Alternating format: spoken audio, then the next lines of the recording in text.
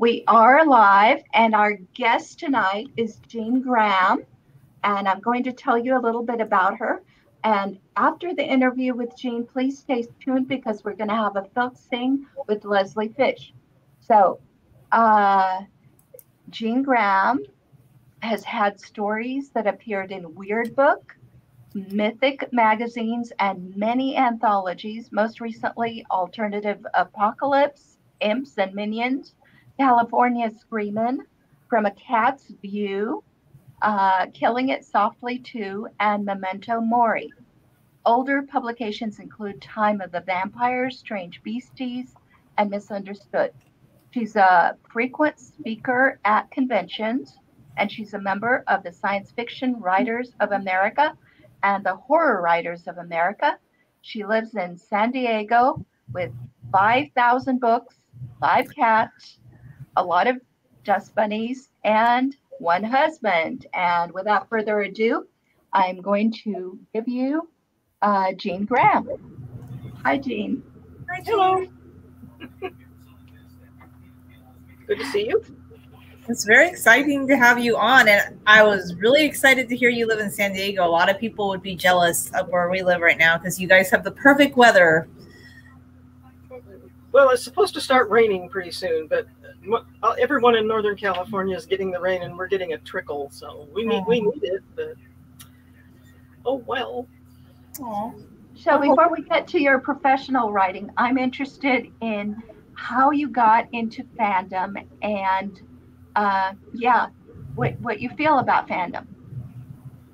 Well, how I got into fandom, I, I was 12, and this TV show came on called The Man from Uncle and like most of the little preteens and teens of the era, I fell in love with this character called Ilya Kuryakin, the mysterious Russian secret agent. And uh, I started writing stories about this character and these and this TV show. I didn't know what fan fiction was. I had no idea. I wasn't the only one doing that. And uh, pretty soon I started meeting uh, some other friends in junior high, and we all started writing fan stories longhand and passing them back and forth to each other. And uh, when Star Trek came on, we did the same thing with that in '66, and uh, then we discovered Dark Shadows in '68, and so we started writing Dark Shadows stories, and eventually discovered there were lots of other people like us because we were writing to pen friends all over the world. I had the, the Facebook of the day was pen pals, and I was writing to about 300 different. Wow, oh, that's, that's amazing! All yeah. over the world, which was very educational. Some people told me I was crazy, but it, that's a very educational thing when you're writing to people not only all over your own country, but I got I, I started finding friends in England, especially, and because uh, I spoke the language more or less, and, and quite a few other places in uh, Europe, in Germany, and uh, where else? I don't I don't even remember now, but uh, it was sort of the Facebook of its day. We, found. Now, did they all uh, watch the uh, the Man from Uncle and Dark Shadows and Star Trek? Well, many, yeah, did. We it depended on. We had these little things called friendship books that you that was that was sort of like Instagram of the day. You put your picture or a stamp of, of your with your address and what fandoms you liked, and it would get mailed around to different people. So you would get then people with the same interest would write to you, and uh, those went all around the world, and um, that was fun. And and that's how you could make contact with somebody uh, instead of a friend request on Facebook, it was a friendship book that you that you passed around, and so I had fans of all those shows uh, that I wrote to, and uh, even even eventually when we discovered conventions, then in the '70s, uh, some of us got to be friends with some of the cast members that that responded to our the Dark Shadows cast, for instance, were, were coming out for conventions quite frequently, and some of them would correspond with, with us fans, and uh, it was fun. It was a lot of fun. We just we had we, which which one? Uh, Jonathan Frid, uh, Lara Parker. Which one? Uh, we we had the very first Dark Shadows convention we held in conjunction with a, with a Star Trek convention that was here in San Diego. John Karlen came was and he was very very sweet to us. Yes. Uh, the, one of the early Comic Cons in '73, Walter Koenig came and and Oh. uh, talked to us, and he was. Our, I started a, sci- a Star Trek group in '72 at San Diego State University, and that was one of the biggest. It still exists. It's still on Facebook. Uh, we still meet with each other at conventions, but we would meet every month on campus, and so we had more fans collecting in uh, and going to conventions. We did. We worked on Comic Con, and we held our own Star Trek conventions in '75 and '6, and we did. We did it all back then, and it was it was a lot of work, but a lot of fun. So Wow.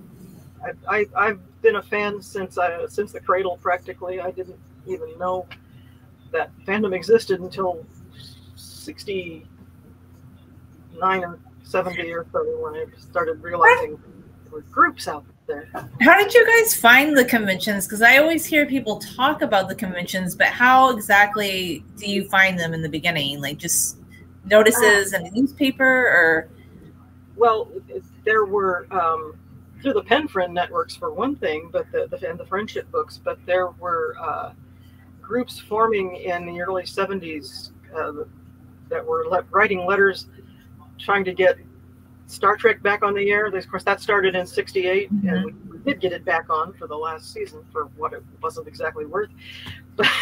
but uh, Yeah. we uh, we were all writing each other. So mainly it was it was just there was a group called Star Trek Welcommittee that was formed to start uh, getting new fans into the, uh, the the groups. There were other star groups. Star Star began as a uh, in Michigan.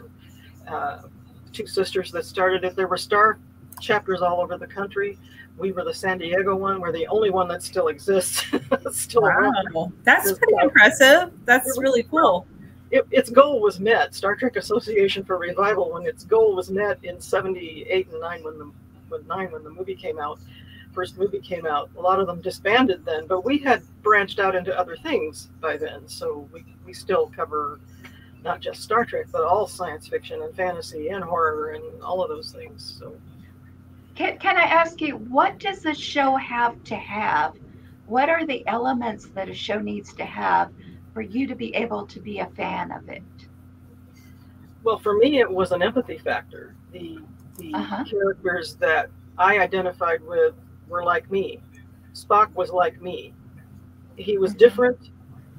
He didn't fit in with everybody else. I was the classic wallflower, bookworm. Just I didn't have boyfriends. I had friends, a few that were fellow fans mostly.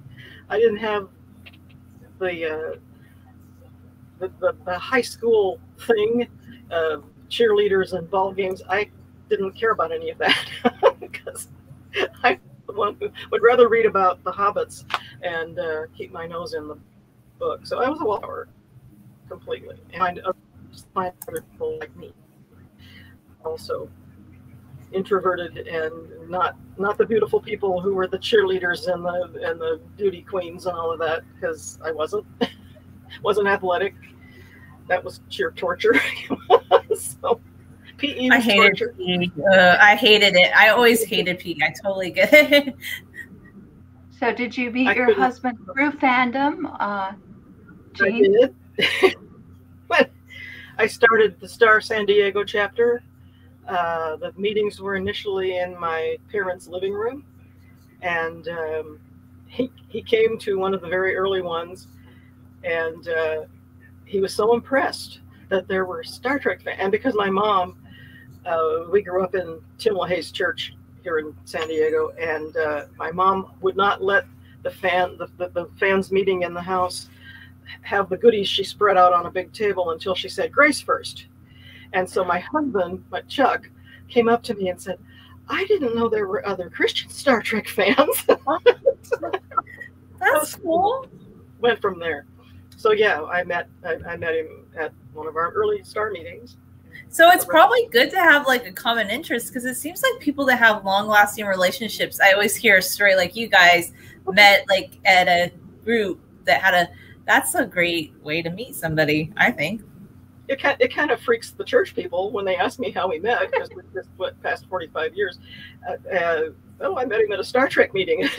you what? then they laugh. I know. it's no. It's been So when did you start editing your own fanzines? 1973, Star put out a Star Trek fanzine called Menagerie, which was really, really amateur. We had uh, a friend with a mimeograph, and that's what we cranked it out on. really, those really horrible purple stencils. Uh, you're, you're too young to to see them, but uh, yeah, they, they they were really awful things, and you had to hand crank it, and uh, but we managed to put it out. Uh, and then we tried a ditto machine, which was even worse. Those horrible blue things that used uh, methyl alcohol, and you could get very high on it. We printed a few issues on that, but we started with the Star Trek zines. Yeah. Did that 73 through 76 or 7.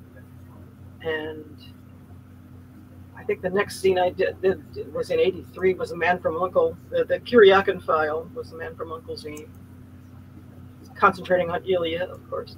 And uh, then I did Dark Shadows zines after that, several of them. Uh, those were mostly one-shot things that I just wrote myself. Uh, I didn't edit any of those. I just self-published a bunch of Dark Shadows.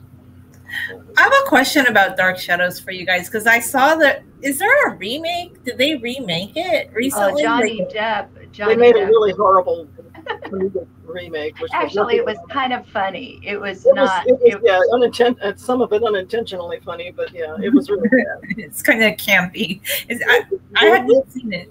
Yeah. you want to see what Dark Shadows was really, really like, look, see if you can find a movie called House of Dark Shadows. That was the original cast and sort of rehashed the original storyline in 1971. And it yeah, was I saw that one.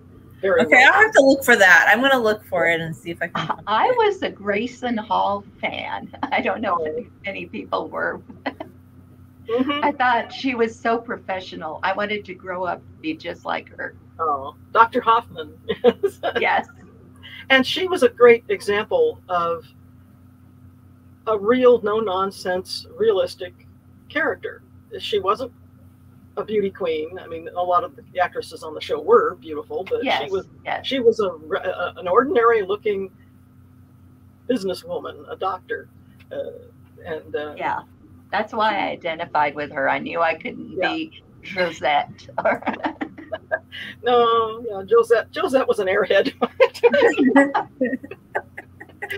poor, poor josette Aw. but uh, oh goodness, other fandoms from there. I did. Um, I did a few battle. I published a Battlestar Galactica zine for a while, oh, Wow, you've done a little bit of everything. Wow. and and then uh, the biggest one of the '80s then was in the '90s was Blake Seven.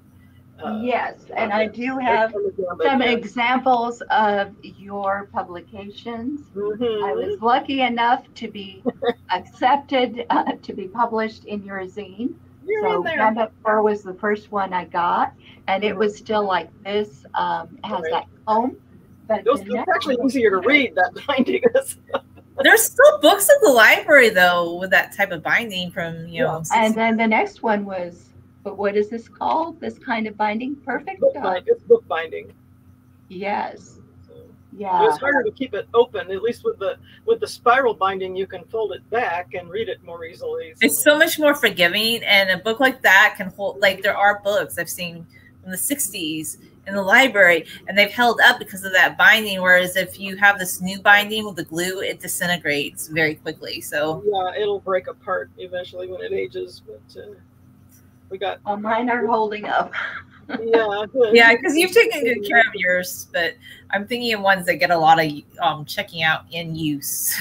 in libraries. Yeah, they, Yeah, they- yeah.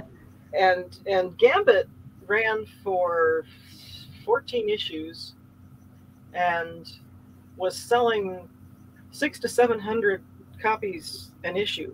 Uh, Very good. And for a fanzine, that was pretty darn good. The post office loved me to death. I'm carrying huge boxes of things that are going all over the world. And um, a lot of them mailed to Australia and New Zealand and England because it was England's shuttle, of course.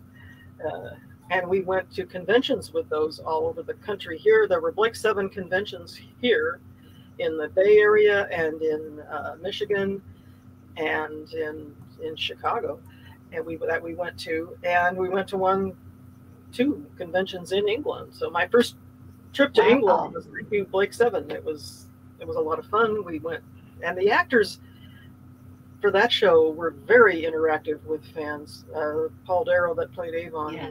came and he came over here and he did a convention for us in San Diego.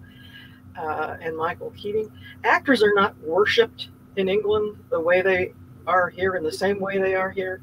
I kind of like that. I like it because I don't know, they care more about their craft sometimes, I feel like. and most of them are stage trained actors. So yes, yes, that's exactly what I'm saying. And and the Turks too is what I'm finding out too. A lot of them have went to like serious acting school. The British and just in other countries, I've noticed mm-hmm. that. That's so neat. Very, very much more accessible than American actors would be usually. It's not not a blanket statement, but, but uh, it was a trip. Though. I, so I ended up going to England three times first with the girlfriends to the Blake Seven convention, and then two more times with my husband, who enjoyed that too. And, uh, so it was a very educational experience and all the way around. so. And my next fandom was uh, Forever Knight, which was a vampire series, Canadian vampire series. It did. Uh, well, I only did one fanzine, but a lot of fan stories for that. Those are all on my website if anyone likes to read very moldy old fan fiction. I, I notice you have an archive, uh, mm-hmm. an archive site um, yep. where anybody could put up their own fan story. Is that right? Oh, an archive of our own. You're talking about the fan. yes, huge, yes. There's a huge fan fiction website. There are thousands and thousands of stories. I'm several of mine are already there, the Blake Seven ones anyway, because uh, when one of the fan clubs folded in England, someone kept, rescued all the fan stories they had put up online, and, including mine, and put them on the archive. And I'm trying to put more of my other fan fiction and edited. Some of them have so many typos. Edited uh, better copies of mine up there. So yeah, an archive of our own. I think it's ao3.com is where it where it is. I, I will put it down in the description later yeah. so that people can can see that. So, when did you start publishing professionally? Well, my very first story sold in the 70s. Well, my very first sale, yeah, was was in high school, and then uh, in the 70s, I sold to a uh, unfortunately now defunct horror zine called the Horror Show, and uh, after that, it was sporadic through the 80s. I was writing a lot of fan fiction instead. and in the 90s, uh, in the 90s, my very first really big pro sale was to Daw Books, uh, short story in an anthology P. N. Elrod, Pat Elrod, uh, edited called Time of the Vampires. And uh, so that was my first, that was 95. And then we reprinted it in 2005 and uh, from there it just was just uh, getting into the groove of market reports and sending things out and collecting a lot of rejections and finally finding an editor that liked the story. I've got stories that i had spruced up or rewritten for the over the course of 20 years that had kept getting rejected and finally sold. So you never know yeah. what the uh, advice, best advice you can give. Don't give up. Just keep sending it out there. Mm-hmm. That's great advice. Absolutely. Uh, the guy who gave up is the guy you never heard of. That's true. I mean, they never got published. You have to keep trying. Well, yeah. I taught writers' workshops for many years in a bookstore here in town. That uh, That was our first three words to all of the writing students. Don't give up. Yeah. That's exciting. It was hard. It's very hard. It's very hard to. It's like putting your firstborn child out on the slope naked. You know, when you're sending stories out, it's terrifying for the for the beginner for the very first time. And, yeah, and then you get rejections that you don't know what to make of, such as I really enjoyed reading your story, but it gave, gave me bad feelings, so I decided not to publish it. uh, that's an interesting one. It's like basically they're saying, "Oh, you're a good writer, but I don't agree with your opinions." But you see, I don't like that because if you are an open publisher, don't you want a good writer? Like, do you have to agree with every story or feel comfortable about every? That's sad. On the maybe they just need to like be more open to because obviously they're admitting you're a good writer, so that's their misfortune, you know. Mm-hmm. So is it different with horror? I mean, when you submit a horror story, is it different from science fiction and in what way? Well, you just it's just a matter of finding an editor in either genre that happens to click with what you're doing. I I don't write graphic horror. Uh, I don't I call it horror light or dark fantasy. Uh, I'm not into the bloody splattery stuff that seems to be the rage. And so um, my stories are, are much more mental, I guess you could say. Uh, and some some of them are, are just downright silly. Uh, the one in the one in this this one here is uh, from a cat's view is um, stories about cats, of course, is about how cats conquered Earth over 6,000 years ago, and they're still in the process. They're very patient. That's the title story. Cats are. And, oh, people and, love the cat fiction. That's kind of cool. Wow.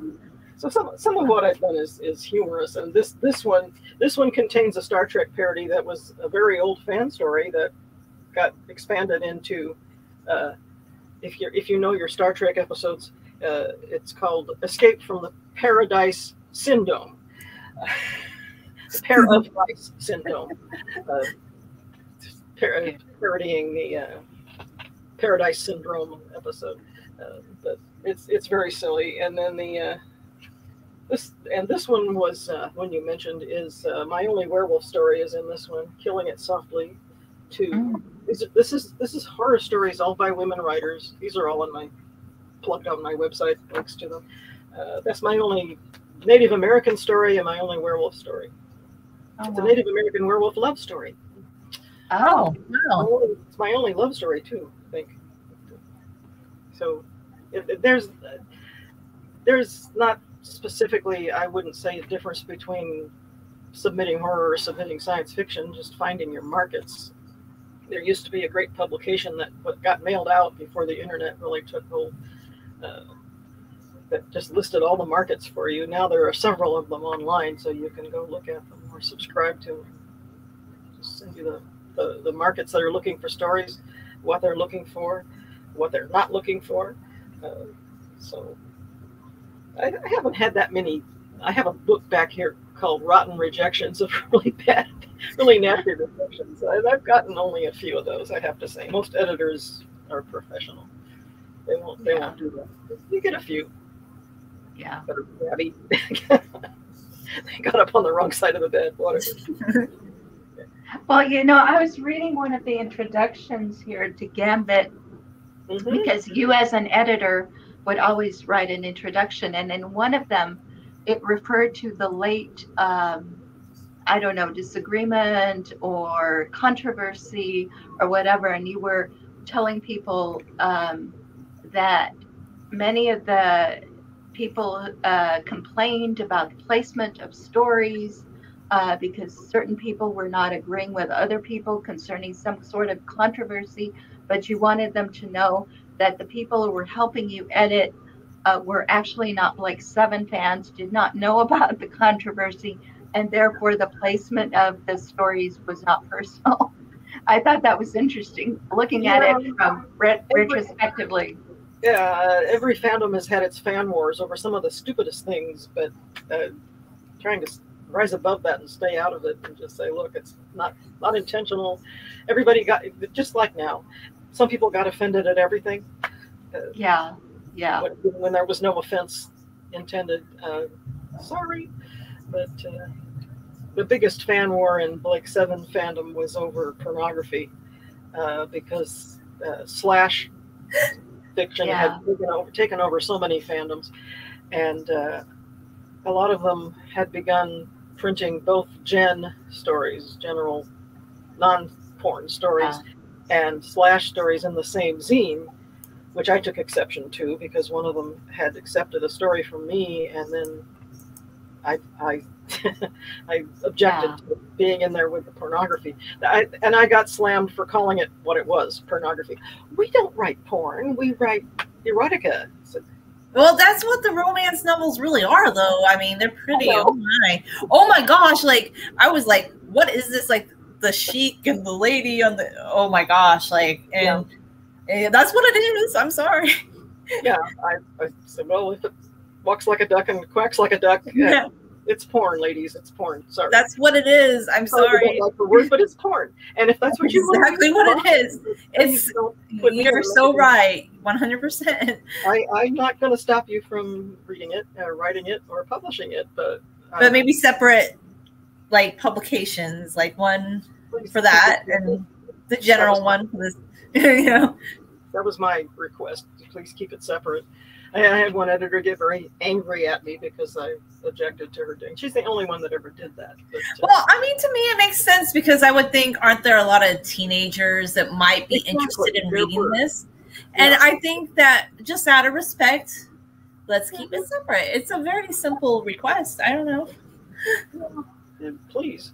Uh, I know when Slash was first first started showing up, it was uh, it was called that because of the virgule between Kirk and Spock. So the so the porn Yeah. stories were about Kirk and Spock being lovers, and Oh, okay. Wow.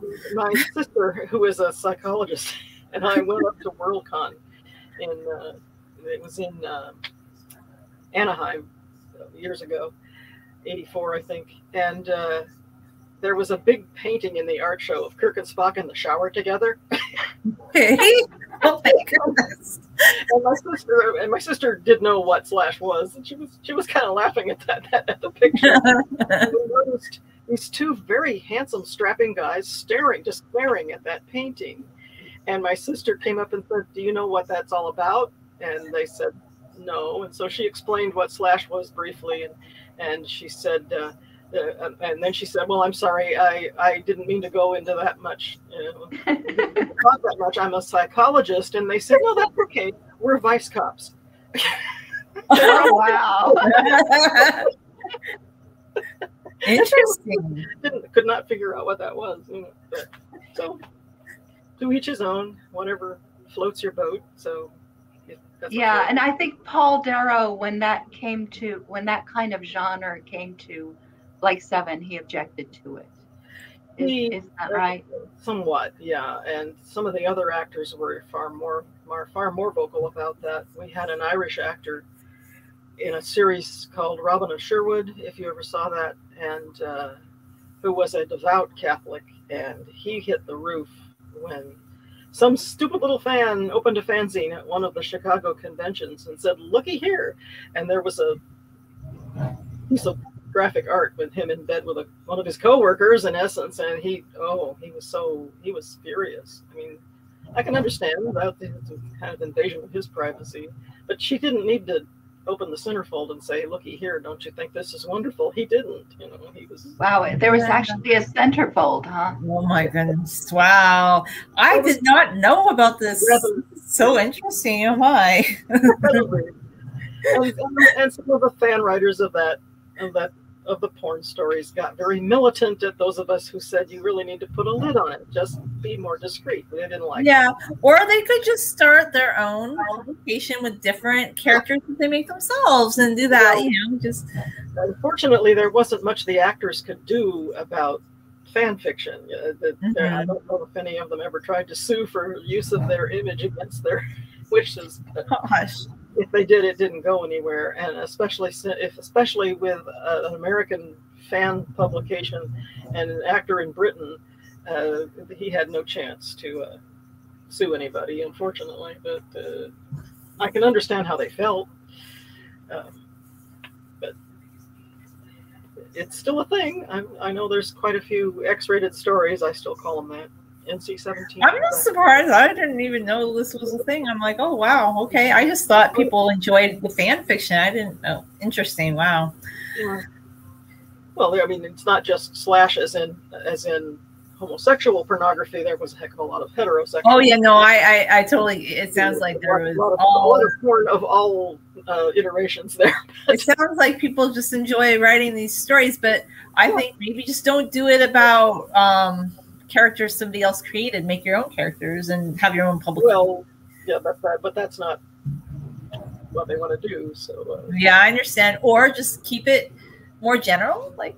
But just my thoughts, you know. It's it's still very very prevalent. Uh, the archive of our own has all kinds of warning signs. When you put a story up, they want you to check the boxes. Is it you know, is it G, Mm-hmm. G, etc.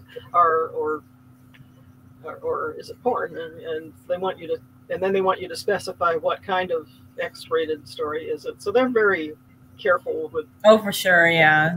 But it, it and it doesn't really do any good. But they say you have to be over 18 to read these these stories. Well, you can't police that. so, but but they try. they try.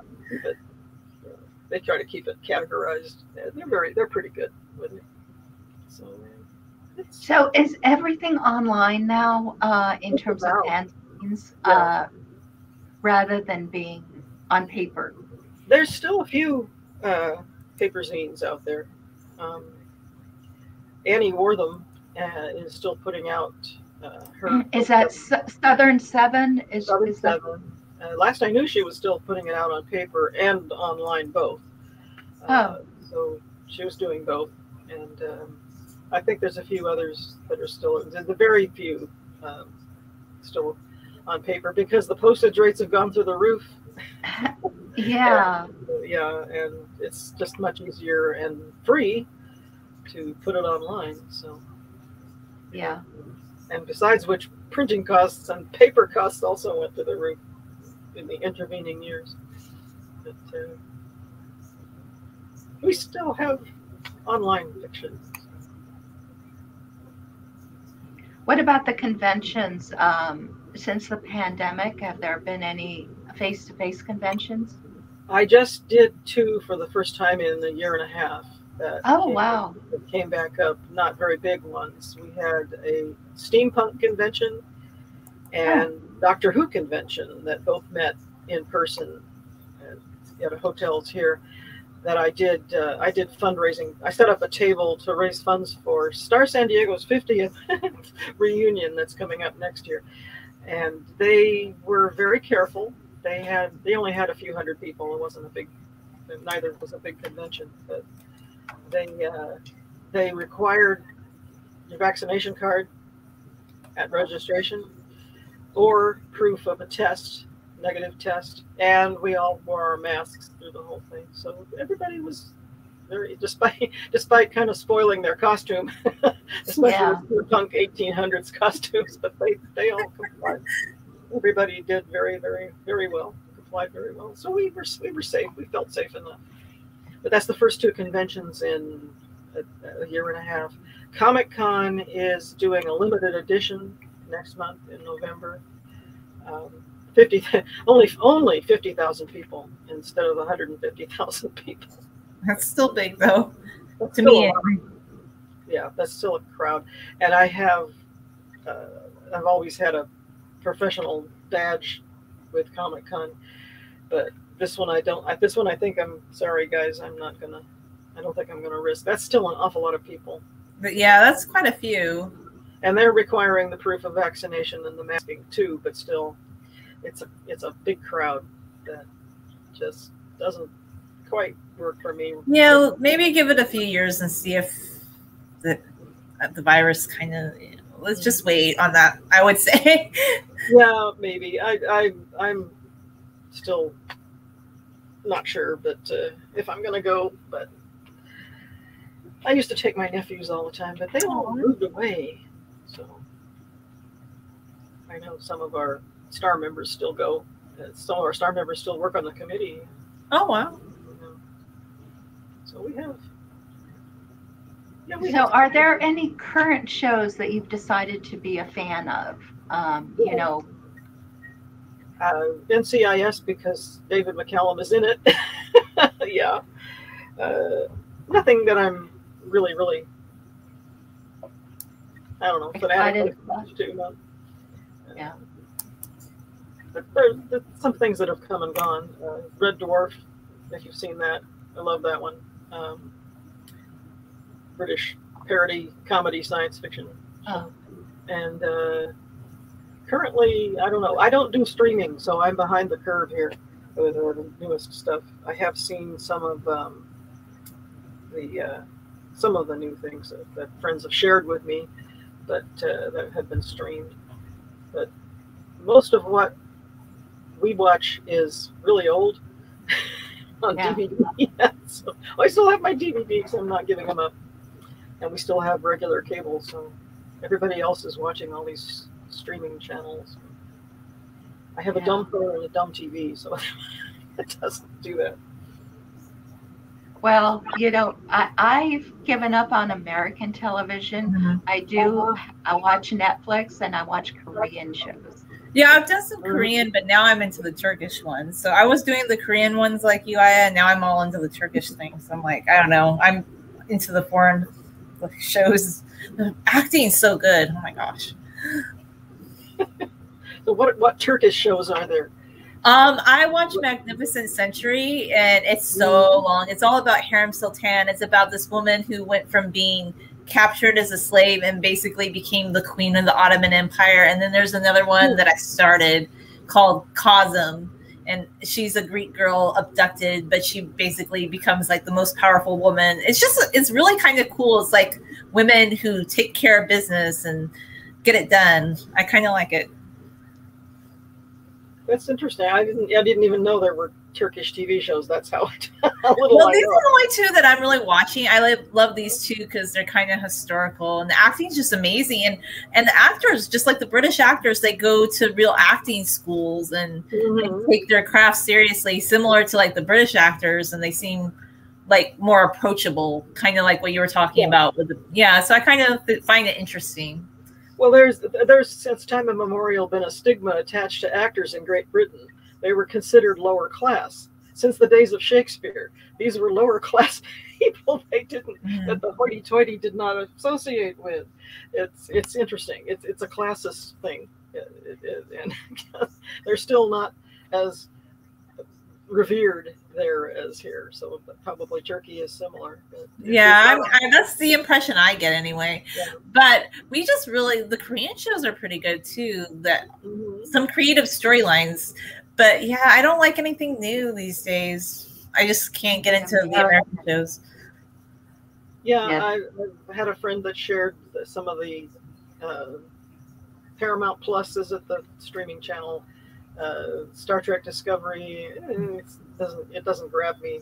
Uh, Yeah. But then none of the sequels of Star Trek have grabbed me as much as the ori- original. It's kind of the you can't go home again. Yeah. syndrome. I, I liked them. We watched them, but uh, Discovery hasn't grabbed me. And uh, the cartoon thing Lower Decks, I I couldn't get past the green chick that won't shut up. she just babbles constantly. And, and it's, it's this. Come on, it's just like grating to me. But maybe I'm just an old fogey. I don't know. Well, no, I think I think there are things that we expect of a show before it can grab us, and it it just feels as if Hollywood has forgotten what those Mhm. are. You know? completely yeah well that's what i meant by the empathy factor i had to care uh, Mhm. one of the other three word credos of my writers workshops were the first thing you have to do to keep an editor reading or let alone a buyer of your book when you print it when it's when you publish it is make me care. If i don't care if your main character dies on the next page i'm not going to keep reading. You have to make me care about this person identify with this person. And that's what hooked me on spock on and all the other characters i wrote fan fiction about is that i could identify with his isolation or his whatever his problems were, and write about that. So if there's not a human element that I can empathize with, I'm not likely to keep reading or uh, or if I'm editing, wouldn't buy the story. I, I want to care. Make me care. Yeah. It's simple. But an awful lot of movies and shows now don't make me care at all. I'm afraid. Well, how do they get by? I mean, how do they get anybody to watch that? What do you think? Well, I guess there's a lot of people who out there who don't care. They just want to. Uh, this, does this generation just want uh, a lot of violence and sex and flashy special effects and spinning you around until you get nauseous from nauseated from the from the CGI effects? Uh, that doesn't do anything for me. But the video game generation loves it, so that's what they're producing. Uh, superheroes up the wazoo, everything flashing and spinning and CGI. Some of it is impressive. The, the, the stuff that looks like a video game, I'm going to turn off.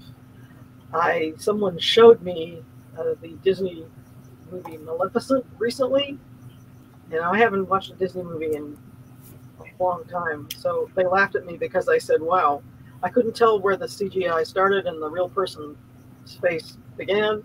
It was so beautifully blended." And I said, "Same things have obviously changed since Bibbidi Bobbidi Boo in the Disney World."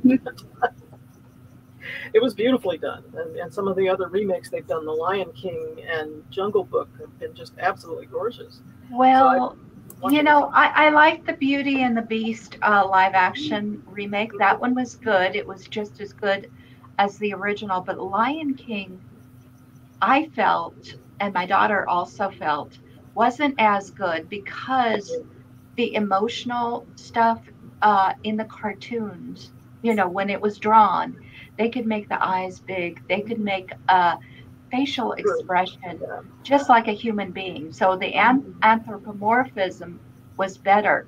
When they were trying to make real lions, you know, you know, CGI lions, of course, but yeah. uh, they tried to make them realistic, and it mm-hmm. took away, I thought, from the emotion some of the emotional content. Yeah, that's a good point because I haven't watched the cartoon version in a while. I do have them both, so I should I should do a comparison there. But uh, yeah, some CGI. It's interesting that you mentioned a lion because in this one show I started watching, they have a CGI uh, lion and it looks so weird. Mm-hmm. I'm just like, what is that thing? And he's supposed to be like feeding his lion. I'm like, uh, it looks like a cart, a video game. And I'm just like, okay. yeah, the, the, the, that was my first objection with Star Trek Discovery was that the opening episode was so spinning you around and around and around and all the spaceship battles and I'm starting to have to visit the what the Romans used to call the vomitorium here. Move around so much, please. but that's what kids like now.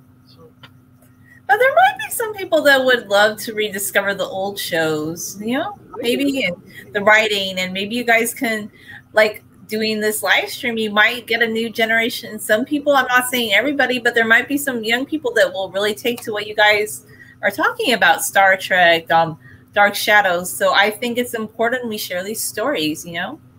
Well, yeah. And, uh, I used to call it the world began when I was born syndrome. They don't want to see anything that, that's old. I absolutely love silent movies. Oh, I they're the best. They're so good.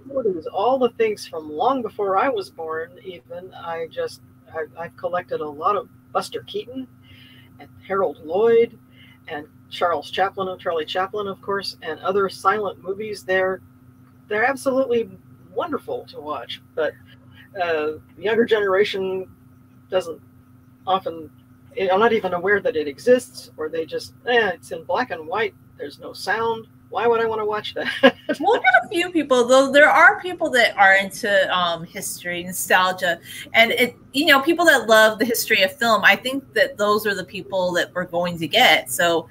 You'll touch a few people and get them interested believe me there'll be some people well uh, tcm is a great place to see silent movies, and they're all over YouTube and uh, a lot of other sites you can find them, and there's some beautiful movies that were. Oh, for sure. Yeah. No, I. I mean, I love Laurel and Hardy when they were silent, and then when they started talking. Oh my gosh, my favorite. yeah. And, and of course, a lot of actors just lost their jobs when talkies came in because no one expected them to sound the way they did when they yeah because they didn't speak. So they, they didn't like speaking. Everybody laughed. mm-hmm. because that's be hard.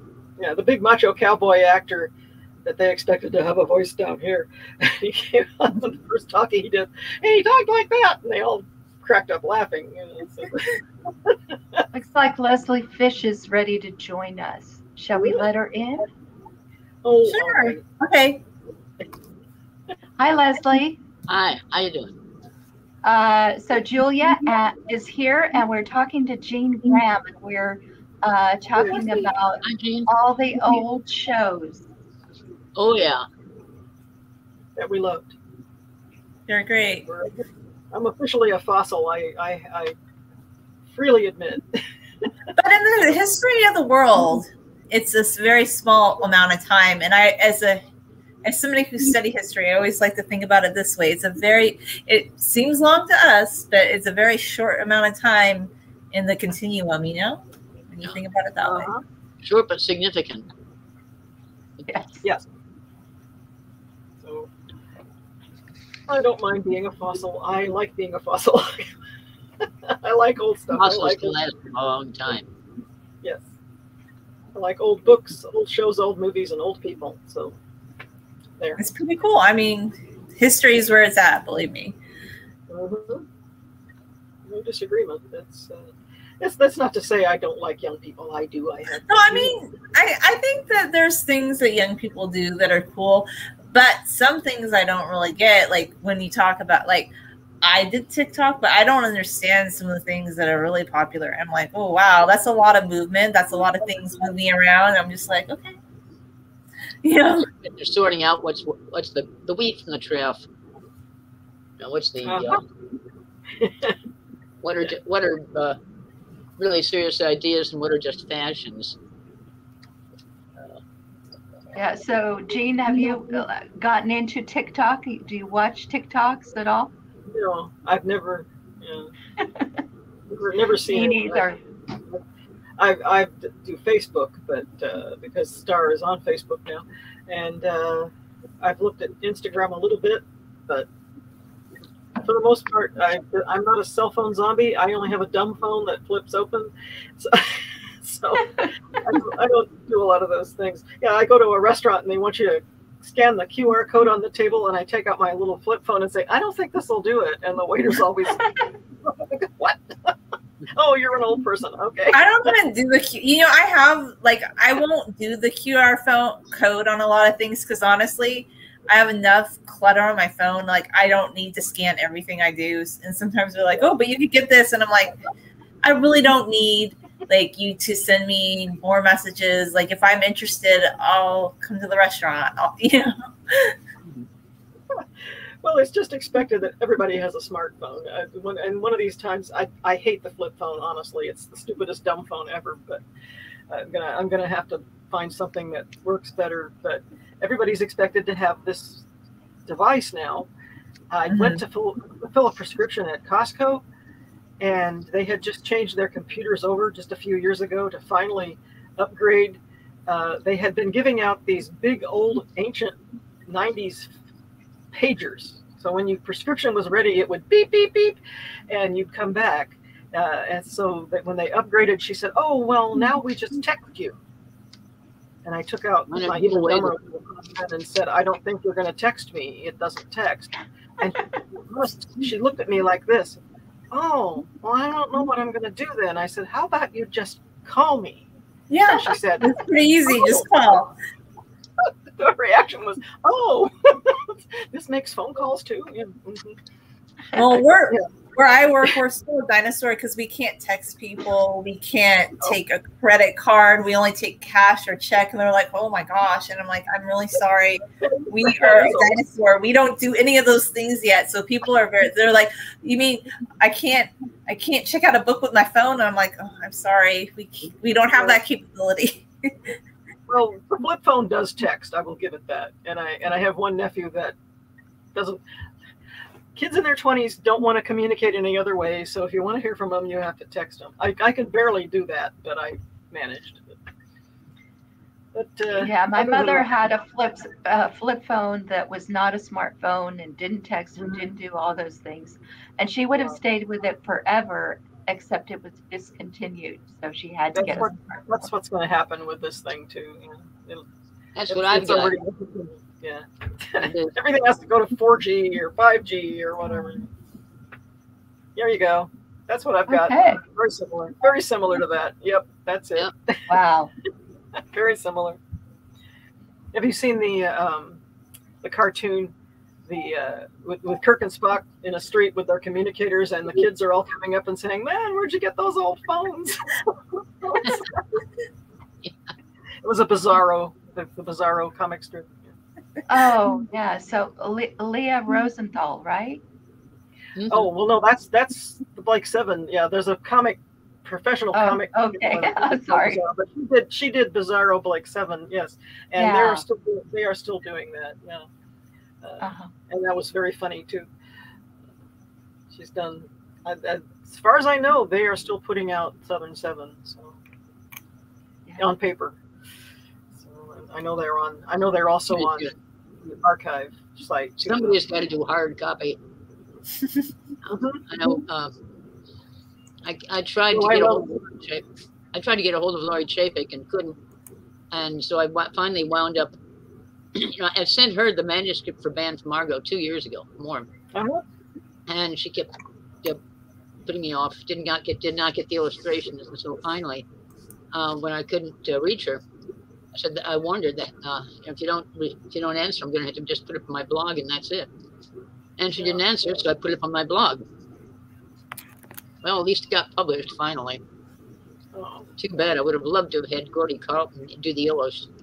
Well, yeah. Well, Gordy Carleton's our art style. resurrect that one of these times and do it Yeah. with another person. I mean, think of if I, I take you've all read the uh, Banned from Argo, the, the, the story that I put my blog, the novel. Mhm. Okay, I've read the whole novel. No, I, I will look it up though. Okay. Imagine Gordon, Gordon Carleton's illustrations to that. Would be great.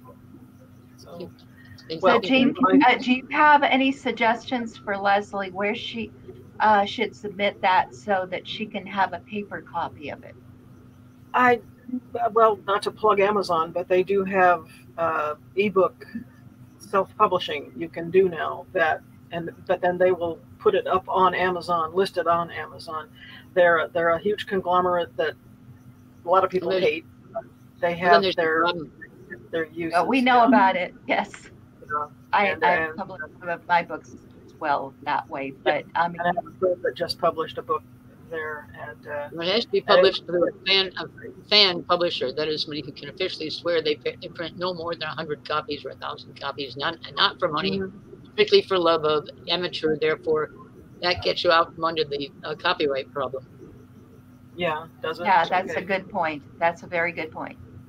so self self publishing is is a lot different than it used to be. You know, it's uh, Yeah. a lot of e ebook version. It will be concurrent with the paper version if you want a paper version. And a lot of my friends have just published ebooks and uh, done very well with them uh, because they're less expensive, of course, than the paper version. And uh, people Also means you get less money back. Mhm. Those are the Kindle ones, right, on Amazon that you're. Yeah, yeah, that- yeah. That's what she's Yeah. talking. yeah. and they have uh, I have I have an Amazon page with a lot of my pro books listed on it, and uh, I have I think almost all of them have an e version. I I don't like ebooks as much as real books, but uh, I do have several, uh, not just of mine, but other but friends. Uh, also because they do take up a lot less room, and my house is so full of. There's no room in my house that isn't full of books. So I know what you mean. I've got And DVDs. Yeah, two walls in my living room and a whole storage shed full of Yeah. books. I'm trying to unload them as best as I can. uh, my storage shed is full of my mother's dolls, and I'm still I'm trying to sell those. But uh, yeah, my house is overflowing with books. Uh, my husband Chuck just retired uh, recently and went straight to the library. I got a library card and said uh, that I have no more room on the shelves for books, so I'm going to start checking them out of the library. And I said, "Yay, good idea." Please don't buy Yeah, some. there you go. Sorry. I said, there you go. That way you won't have to keep buying the new books if you don't want to. Yeah. If nothing, Yeah, if, I can't unload them anywhere, Yeah. if I can't unload them anywhere else, I'll give them to my local library. Oh, I suppose yeah. they'll sell them. They'll sell them at library at library book sale day. But what the hell? They keep circulating. Mhm. Julia actually works at a library. So yeah, I do. I work at a library. So I just always tell people I love books. I like to buy books. But if you don't want to spend $40 on a Yeah. book, the library is a great place to see if you like it or not. Mhm. Exactly, and that that's exactly what we've done too. A few times we'll go ahead and say, "I'd like to keep this," so we'll buy it, buy one, uh, buy a copy. Uh, but other than that, libraries are a great place to read the book and give it back, and don't have to split the bookshelves because there's. I've had more than one collapse, honestly, have from the weight. I believe it. I think actually my room, like my laundry room, I, I think the the shelves are bowing because I have so many books stuffed in there. They Watch oh, out. It might yes, collapse. That has happened to me. Yeah, it's Yeah. Three of them collapsed. It scared the cats to pieces, and suddenly there Oh, was a loud right here behind my com- other computer, and it completely collapsed. All of a sudden, the cats go shooting out of the room. And Francis Yeah. scared. What was that noise? Uh, and it's a big mess to pick up and put back together, and I had to go buy a new bookshelf first. oh no. Bolted that one to the wall, so it hopefully can't do that again. But Oh, that's a great- we're, we're, uh, we're definite bibliophiles. But, yeah, five thousand Yeah. and counting. So, Twenty shelves and counting. There's a filk in that. Yes, there is. Twenty shelves and counting. I could fill a dozen more. My books are piled up everywhere and they're spilling on the floor. yes, that's here. You don't want to see our library. You can't. You can't walk in it anymore because the piles are on the floor. Ran out of shelf space. I can remember when I can remember when the biggest part of a library was the stacks. Mm-hmm. Yeah.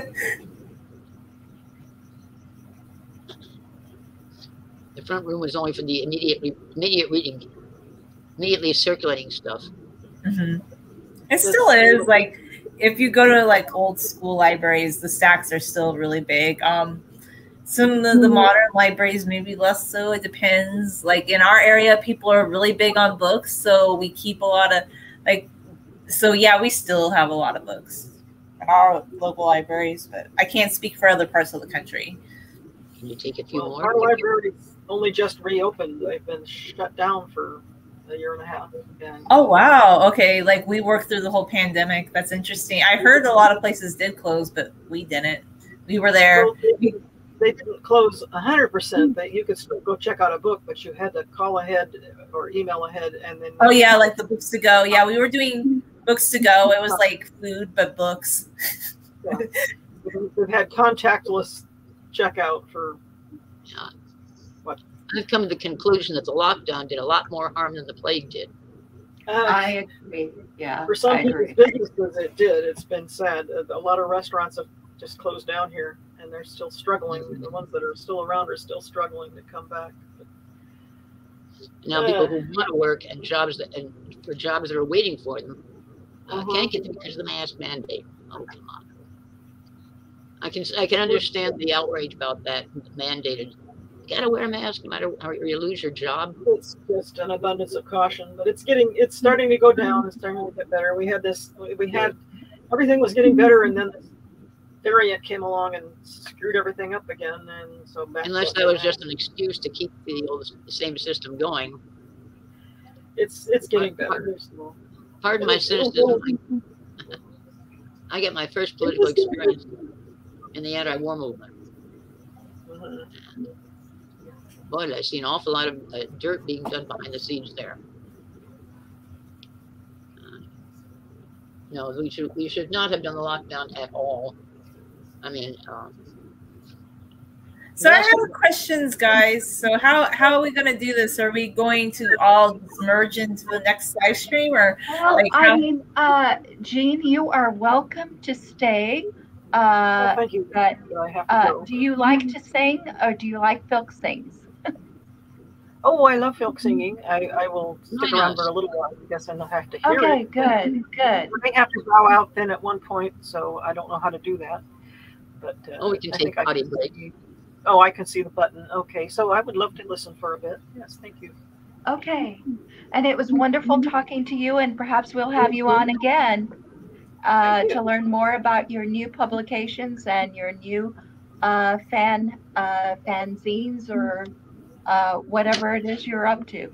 Yes. Well, mostly mostly only pro fiction nowadays, but I am putting my old fan fiction up on the, the archive, and it's on my website. So if anyone wants to read it, it's there. Yeah, I, I will be sharing all of that information in the description after okay. this processes. It was lovely, like talking to you, and I loved hearing about all your writing experiences. And I hope more people check out what you're writing. Thank you. I hope so. So, Leslie, is your first song going to be Sentries? Do you want to tell us a, a little bit about this song? Okay. no, an old friend of mine um, called up who's been avidly following the space program for decades. Um, uh, emailed and, and, told me that um, the Space Force it, it, did not just vanish when uh, Trump got kicked out. It's still there. It's got people uh, volunteering to uh, hundreds of people have, from the Air Force have volunteered to shift shift divisions and go to the Space Force instead. Could have, could have seen that coming. And yes, it's got a uh, it's got its own bureaucracy set up, which means they're serious. And uh, they're look they're uh, they've got a, a, uniform plan, and they're talking about they're talking about designs for patches and uh, edges and insignia and so on. And he said, why don't they don't yet have an anthem? Why don't you send them one, one of yours? Okay. Yeah. And I looked through all my old uh, songs for um, such and came across Sentries, which I had to do some hunting to find on the net. But uh, I, I, put the ad out on Facebook saying, uh, "Can anybody find it for me?" And got a whole raft of responses, including a fellow who was a personal friend of the head of the Space Force. Oh wow!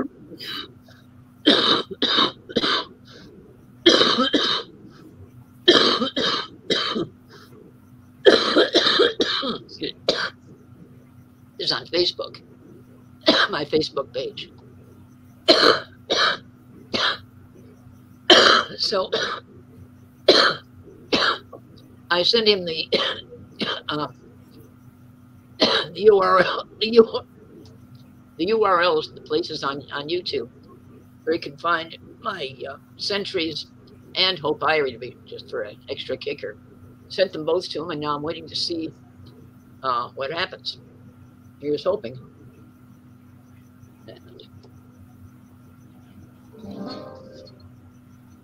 And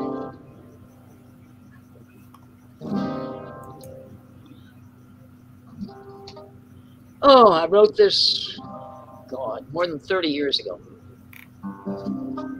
Be interesting to see it uh, revived now.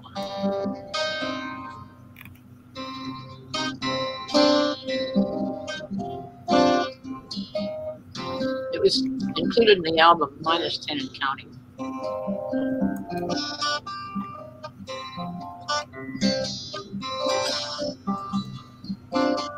Legends have warned us in times gone by. Danger can fall on us from the sky. Fire and rain, hailstone and flame, gods without mercy and plagues without name. Science has warned us of what might be dangers that drift through infinity. Comets may fall or meteors fall, and nobody knows what lives out there at all.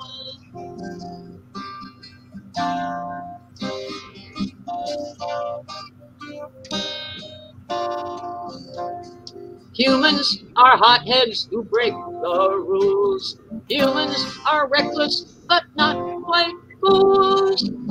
Therefore we fly, keeping an eye turned to the depths of the borderless sky. Liners may ferry from Earth to Mars. Traders may travel between the stars, but always before the centuries endure. Circling the guard on the borderless shore. Circling the guard on infinity's shore. Some of us people, the rest with machines, sensors, computers, and readout screens. Always aware with infinite care that we're the first warning of anything there. We are the sentries who guard your sleep. Endless as hours in the watch we keep holding the sky under an eye, as watchful as ever in ages gone by.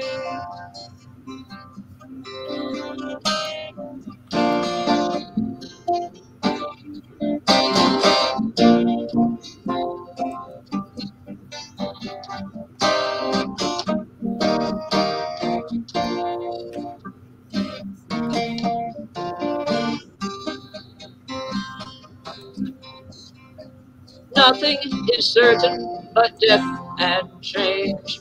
Earthborn or skyborn as we may range. Always we fly, watching the sky. Nobody human need ever ask why.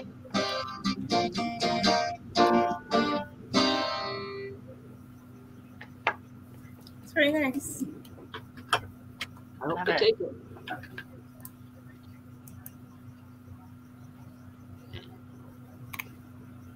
Leslie, do you know the engineer's song? Do you think you could sing that one? Engineers. It's in the other book. It's Oh. in the other book. Sorry. Oh. Okay, this big book that I've got spread out on my desk in front of the computer now ranges from titles from N to Z. This, there's the book too. Uh, an engineer's hymn is under E. It's in the other book. It's in the other book. Uh, Can I tell you something else instead? Okay. Um, okay, this is one of my favorites written by somebody else. Don Simpson, who oh, writes not enough to suit me, because every song he's come up with that I've ever seen of his has been a gem.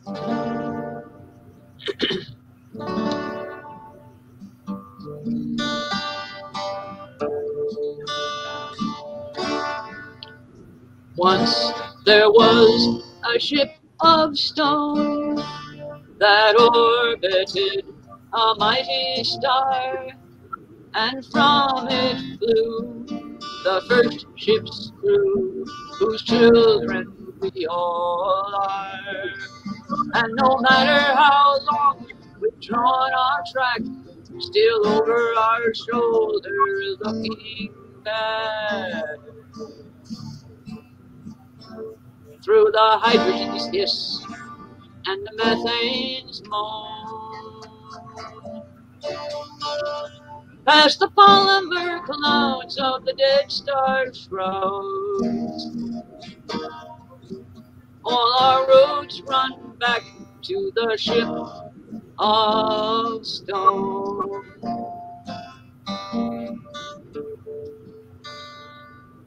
There the first crew all were made and wakened from unknowing sleep by the boundless sight of heaven's height and the fires on the deep.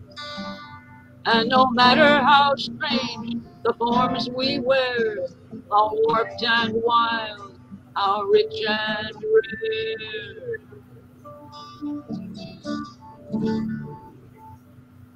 How changed we made the sea we've sown. We are blood of those who singing rose from the body of the ship of stone. And there our own ship's frames were formed to grow through glowing wings and spread them wide to the farthest tide where the last lone beacon sings. And no matter how tight the net they knot of our web where the wheel of light is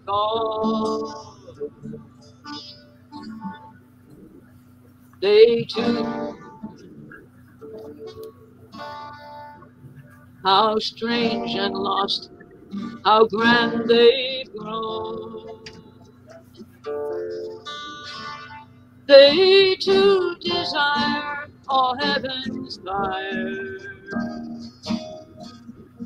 Our companion sits the ship of stone.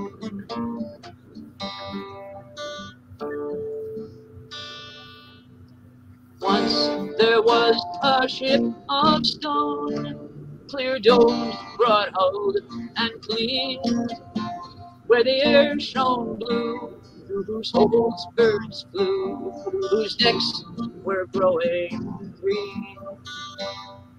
And no matter how odd these things may seem, as madly mazed as shards of dream. They are not a dream that you dream alone. All ships, all men are of one kin. We shall not forget the ship of stone.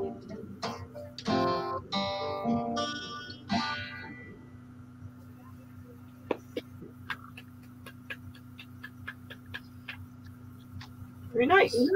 Yeah. I like it. Do they still have filk singing conventions anymore? We still have country music out in space. Yeah. Because we have we had FilkCon that was part of some of our conventions here for years. They haven't uh, haven't been around as much lately. Well, I've been sort of stuck here in Arizona with, uh, oh, various uh, various conditions holding me here. Yeah. Financial. And back when I was living in California, I had um, my publishing company took me around to conventions, paid my way, and all that. Yeah. And of course, I would Great. sing, and I would sing, and they would sell. It was a nice, nice arrangement. Nice. Yeah. I saw some of your stuff, Leslie. You have a lot of views for some of your songs. My gosh. Millions. Well, yes, she's the queen of filk. yeah, she, she's like famous. I was like, wow. yes.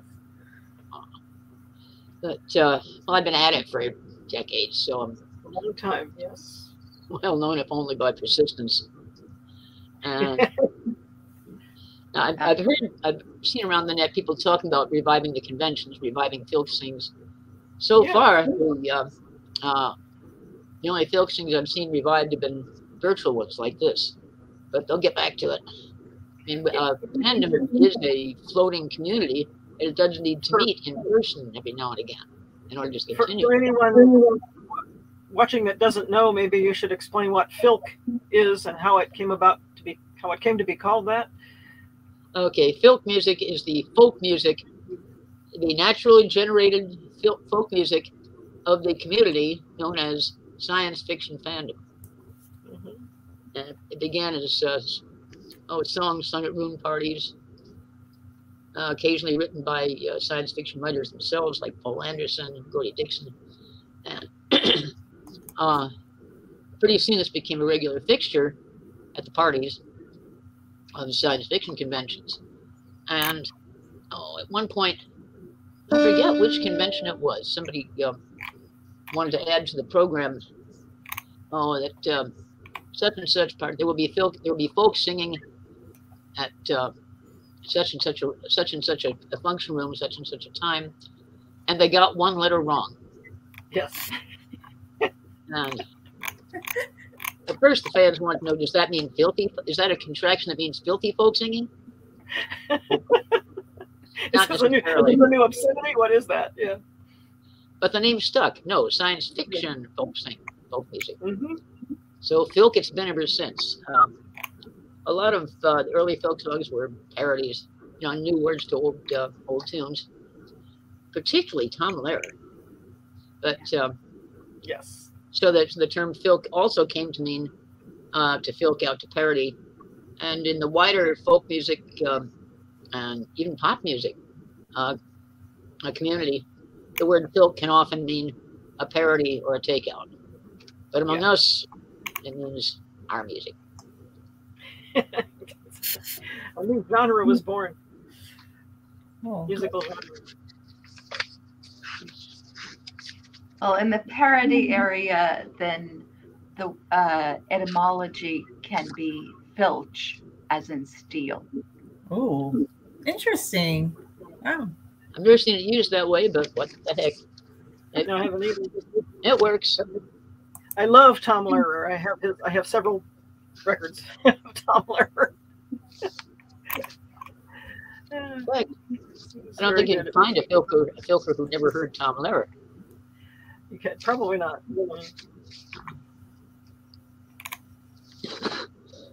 The poisoning pigeons in the park was. I remember hearing on Dr. Demento. A lot of people would say, "That's horrible." it's a joke. okay. He got he got slammed by a lot of. Wouldn't they wouldn't play his records on most of the regular radio stations? Gee. And they didn't even ask him what it was about. Like, um, It's it's a joke. Yeah. Yeah. Yeah. Maybe Some that's his like, Yeah, even back then we had oh self-righteous uh, Yeah. uh, former types lo- running around look, running around sniffing for something to be offended by. Well, yeah, Yeah. and some of his uh, some of his were a horror writer's dream. They were so funny. Uh, um, I hold your hand in mine, dear. Uh, and it turns out he's holding her, literally holding her severed hand. Oh, and, and it's just, it's, I hold your hand in mine, Mine, dear. dear. That reminds me of Mary O'Meara. Yeah.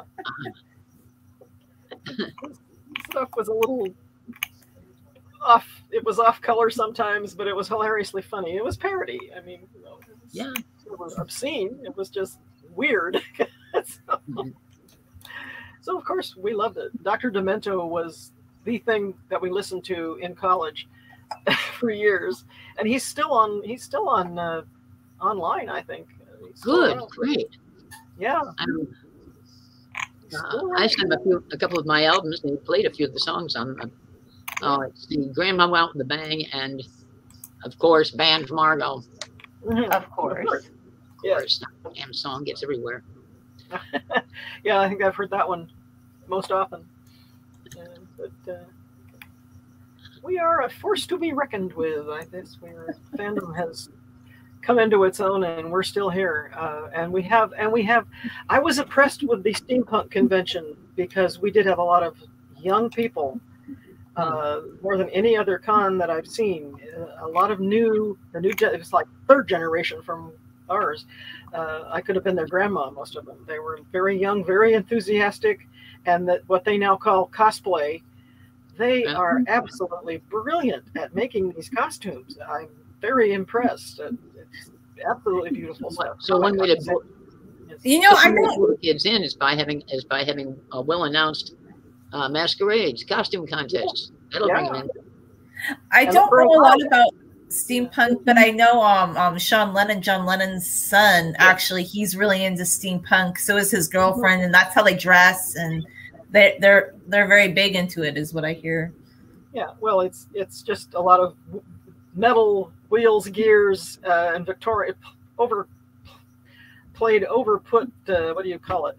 On top of Victorian. Costumes, yeah, uh, and it, it, it's beautiful. A lot of it is beautiful what they're doing, and they're they're very good. What we call costuming cosplayers, and uh, they're very into this. And for a while, masquerades had kind of died out. Conventions didn't have them. Now this this generation is back into building and sewing and making, especially with 3D printers. We had a we had a guy at that con in a huge uh, outfit that was. I had to ask him, "How did you make that?" You know, was all that looked like metal, but it was he had he had 3D printed this whole costume, Wow. all these pieces of armor, gold armor, all over him. That's really cool. it's it's they're they're very good technical whizzes at building these out these costumes. So I'm encouraged. We have corrupted a whole new generation of fans. So- and I know they know. think they invented costumes. They didn't, but they're very good at it anyway. So, so we like, should get um, filking going again too. Okay. All we have to do is just all we have to do is get together and give me a room, a microphone, and a, a room, a chair, a microphone, and scotch. Yes. Someplace, someplace to park my books, and I'll go all night again.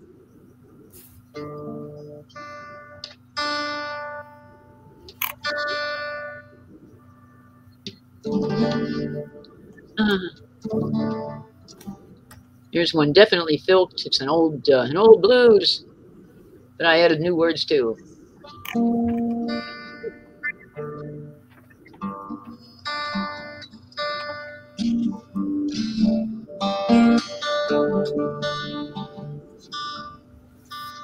Baby, please don't go. Baby, please don't go. Baby, please don't me. Uh, too low. I just put a different key. There we are. Okay.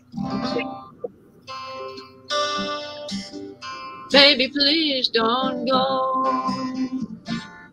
Baby, please don't go. Baby, please don't leave me alone to die of a broken heart at the bottom of the sky.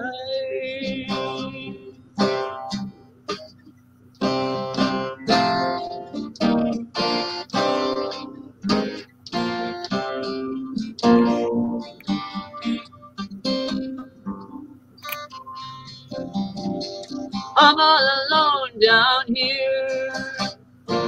I'm all alone down here. Out of the world sometimes that I've left behind. You're the only one who truly knows my mind.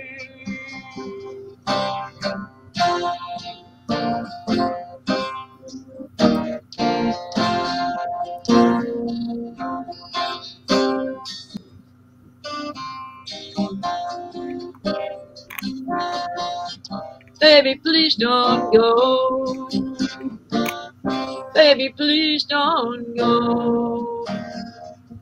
Baby, please don't go. Take your love away. We got some scores to pay. Baby, please don't go.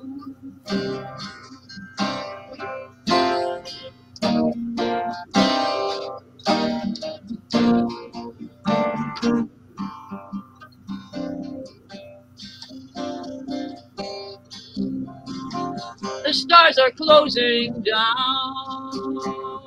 The stars are closing down.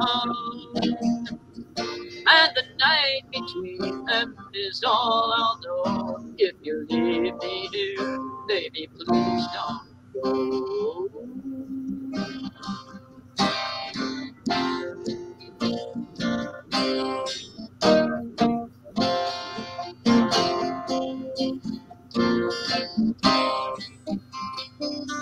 Lover, please don't go. Lover, please don't go.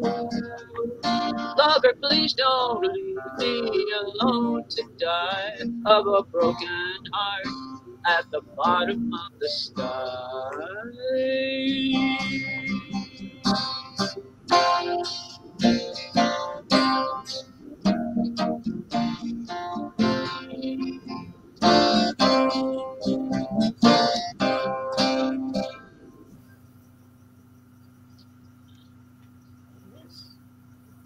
There are different ways of playing that depending on what key I'm in. So that sounds a little different from the uh, version recorded on Skybound.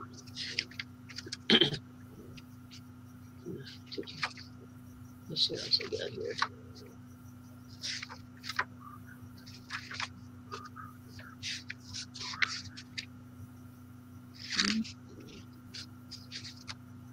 Hold on. Hold on.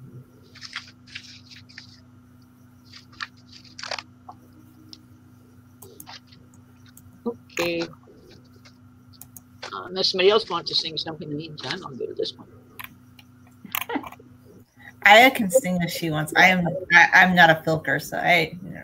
Oh, I'm a filker, but I only write lyrics. That's all I do. I mean, I the only. I mean, I can sing some things. It is not filk, so no Surrey bobbers. I'm not singing here. I'm not trying out for the Met anytime soon either. no, I yeah, I don't think anybody wants to hear me sing. It's kind of off key too. That's another thing. I'm like, I don't know. I know more people. I know more filk fans who've been lured into learning an instrument just so they could keep on key while while they sang at a filk sing. So you're in good company. I don't know. You sing good. I like your singing, and you're wonderful on the guitar. So it works for you. I'm just saying, I'm not a musician. I like to hear people sing. And I used to think I wanted to play the guitar, but I was like, nope. So I sold the guitar because I'm like, I'm never going to play the guitar. So I let it go. I do. Take up the auto harp. I don't know. I just, I got to the point that I just, what I like to do is I like to paint and I like to draw. So I just decided a few years ago I'm going to do things that I know I will do instead of having like, oh, someday I want to get around to sewing and I never did, or I want to do this. So I I like to watch other people do it rather than me do it. Okay. One advantage of what? I learned a few chords on the guitar, but my problem is fingernails that are too long to do it well. But I do have an auto harp that I can play, and I play. I do play the piano, but that's about it. Oh. That's cool. I mean, that's that's great. That's very musically inclined, actually. So, Jean, you, uh, uh, can you play something for us, or do you have a, a folk song okay. that you want to perform? Okay. Do I? Or yeah. And if you want to, that'd be cool. No, not right now, but okay there's a couple of my piano performances on YouTube I can send you sometime. you okay. I have the film to the uh, Star Trek first Star Trek movie on there, and Quentin's theme from Dark Shadows is on there. The advantage of an auto harp is that yeah. uh, if you can look at a page and it's got the words with the, with the chords on it, then uh, all you have to do is every time the word is, is follow the uh, all the instructions, follow the letters push down on the bar that has that chord on it. That's right. Very simple. And then you can. I just, I just dusted it off and took it to church a few weeks ago, and we did a a, a song with it and with a our guitarist. so most people haven't seen those. They're so if they're old enough to have been in school when your teacher used to play them, they might remember it. But uh, yeah, they're cool. I like I like my auto harp. Yeah, we can bring back the auto harp into modern filking. Yeah. Bad idea. Mm-hmm. Okay, another one? Yes. Yeah. All right. This is what? Uh, G, G for me and T for two. That would be G for me is F for influence. Well, close enough.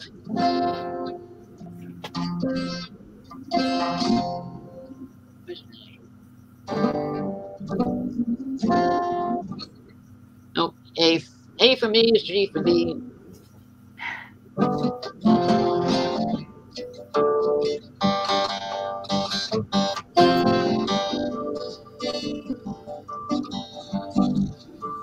Do you wanna be a hero in the sky? Do you wanna be a hero in the sky? I adventure higher pay, join the Space Marines today. We're gonna be a hero in the sky.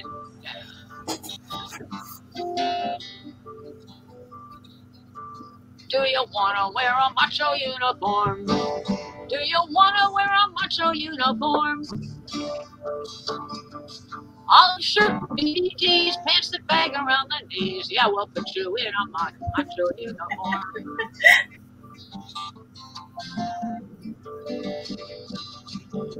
Do you wanna rise as early as the birds? Do you wanna rise as early as the birds?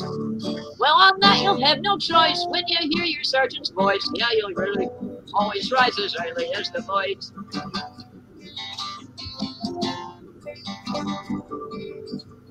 Do you want to eat exotic space cuisine? Do you want to eat exotic space cuisine? Powdered eggs and wafer bar, nameless stew and burger char. Yeah, you'll always eat exotic space cuisine. What's this? Animal, vegetable, and mineral.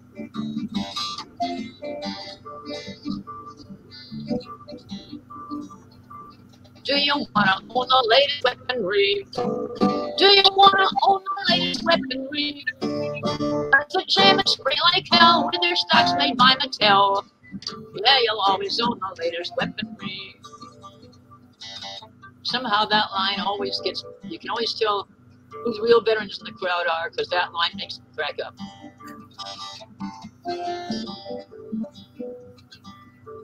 Do you want to take a bodybuilding course? Do you want to take a bodybuilding course? Well, our basic training tends to put muscles at both ends. Yeah, we'll put you through a bodybuilding course.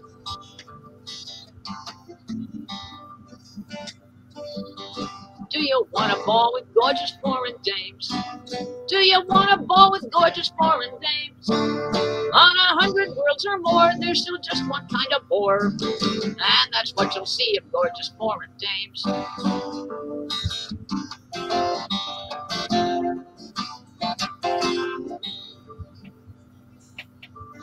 Do you want to test the latest weapons made? Do you want to test the latest weapons made? Well, on every other pass, one will get you in the ass. And that's how you'll test the latest weapons made.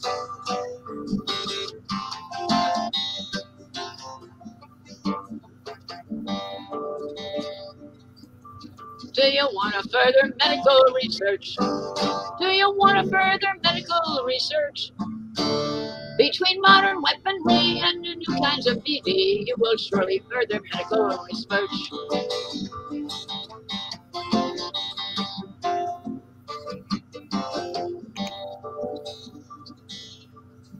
Would you be young and handsome all your life? Would you be young and handsome all your life? Well, the odds are good that you will be dead by 22. So you will be young and handsome all your life.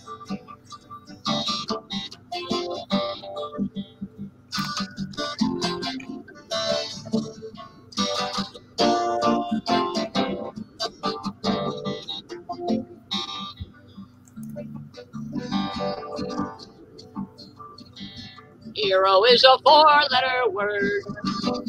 Hero is a four letter word. Just another term for fool, as you'll find out in our school. Hero is a four letter word.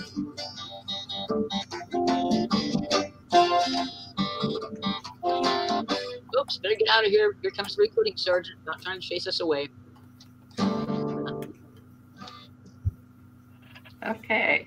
That was funny. That was a good recruiting song. That's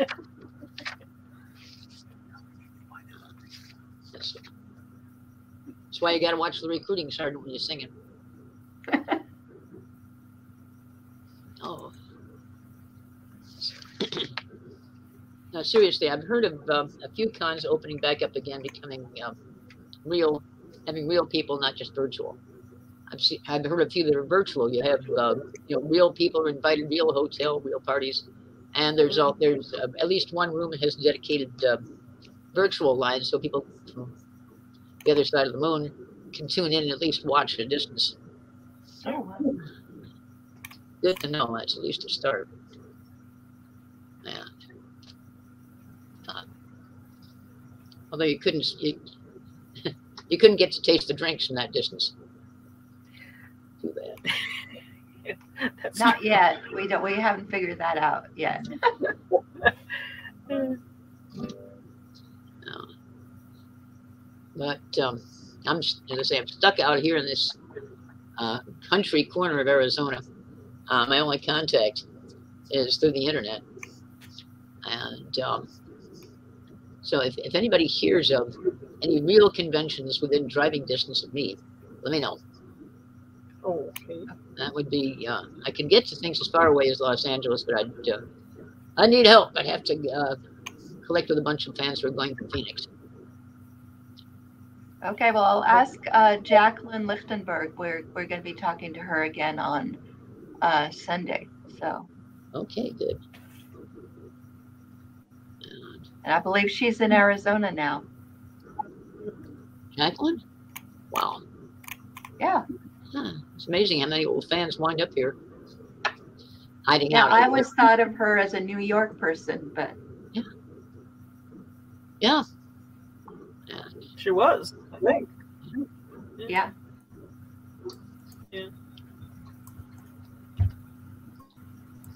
I'm just surprised at how many how many of my old uh, friends from California are beginning to bleed down here to Arizona. It's expensive. That's. I love California, but the cost of living is very high. That was my excuse. Yeah. The little concrete floored tract houses in my neighborhood have now broken the million dollar price mark. Believe yeah, they're like These are oh, houses. Yeah, 1960 they sold for eighteen thousand dollars and less, sixteen thousand. Some of the models they are now breaking one million. I don't know how people are buying them, but all these young know, people like, are.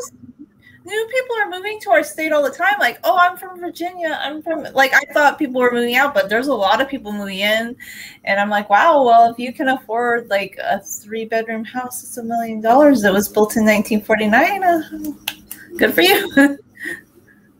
They're doing it Wednesday night, now. got our A lot of them have high tech jobs and they're affording it, and the interest rates are way low, so they're doing it. Somehow. Yeah, they're doing good. I mean, yeah. I mean, I think it's just because a lot of people can work from home now, so they can pretty much they can That's go where they want to go. That's true. We've got a lot Oh, of that's- new young that's families white moving collar. in. That's, that's true for white collar jobs. The uh, jobs we actually have to go and make something, people are stuck. Yeah.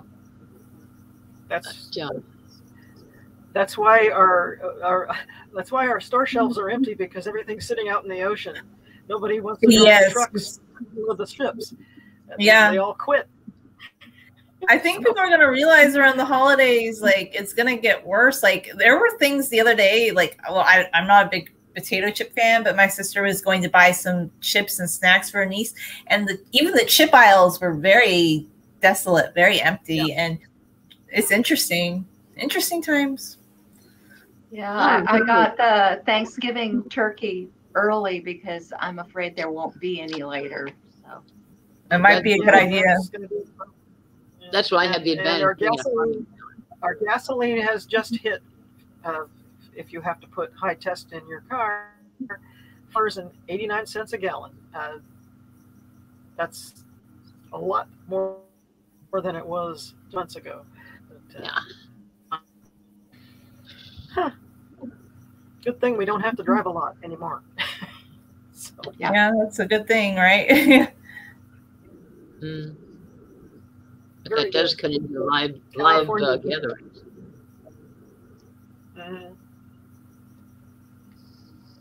Cal- Hmm. California just got awarded by somebody's survey the worst drivers in the country award.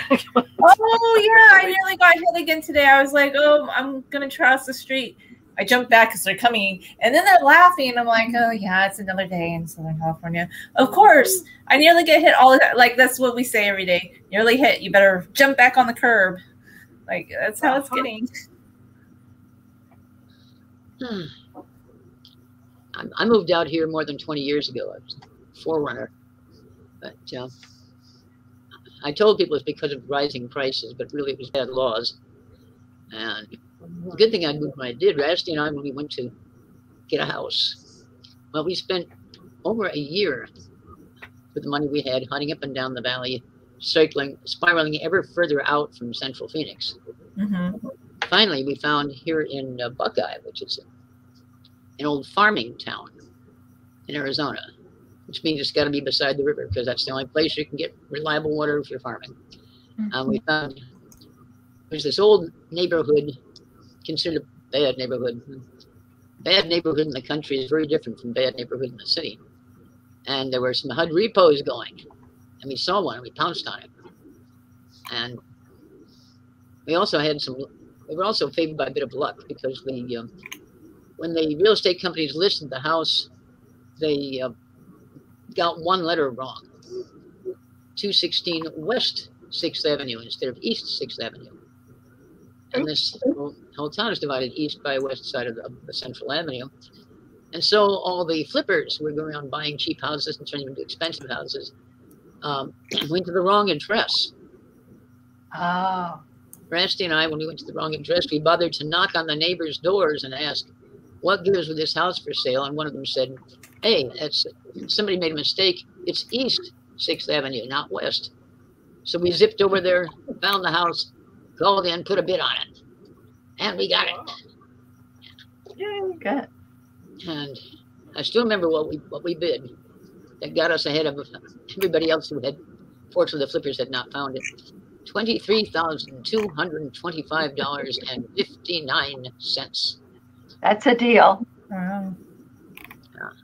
Because I knew a computer was going to do the, uh, the, the choosing, so I wanted to get odd numbers to make sure I got over the. I got every advantage I could. I think it was the fifty-nine cents put me over the top.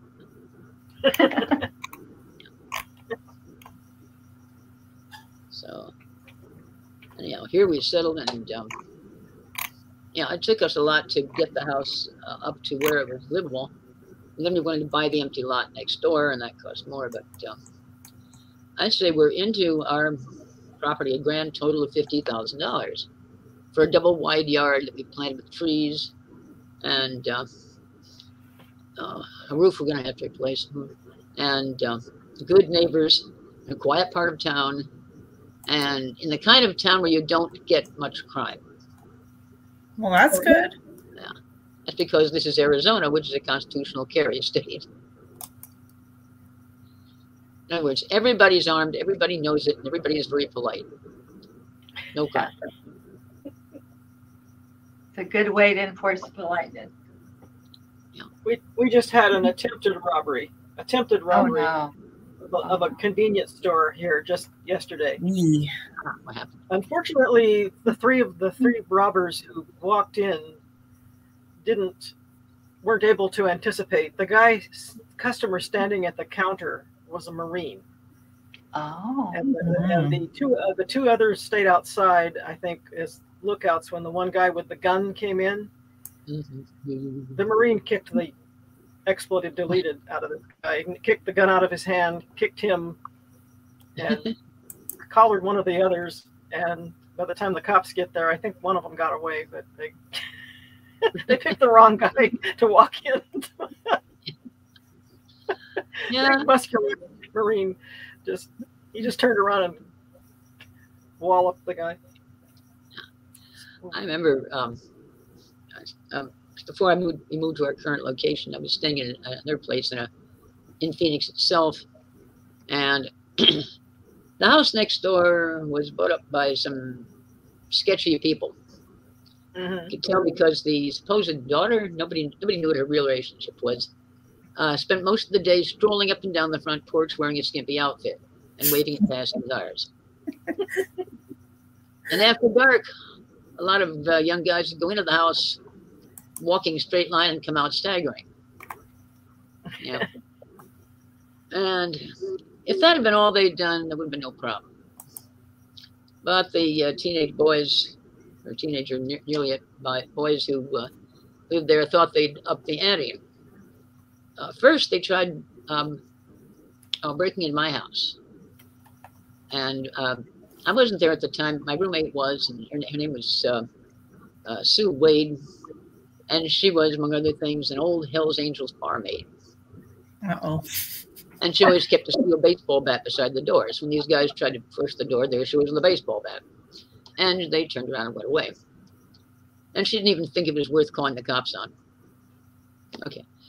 Uh, a week later, I, uh, I was alone in the house uh, watching TV, and I heard uh, a, a long a racket of, of, of either, either shots or uh, ladyfinger uh, uh, fireworks and they were too irregular to be the be a strip of fireworks. So I figured it was gunshots. And I picked up my own gun, ran her up the front door, and looked uh, left and right. Nothing to be seen, just a faint smell of gun smoke drifting down the drifting down the air. And um, oops, road went back home. Later learned that the guy across the street and down a couple of houses had noticed a couple of punks trying to break into his car. So he came out Oh. with gun blazing and they promptly went the other direction much faster than they'd come. And he didn't have to hit any of them; they just they just ran. And oh, let's see.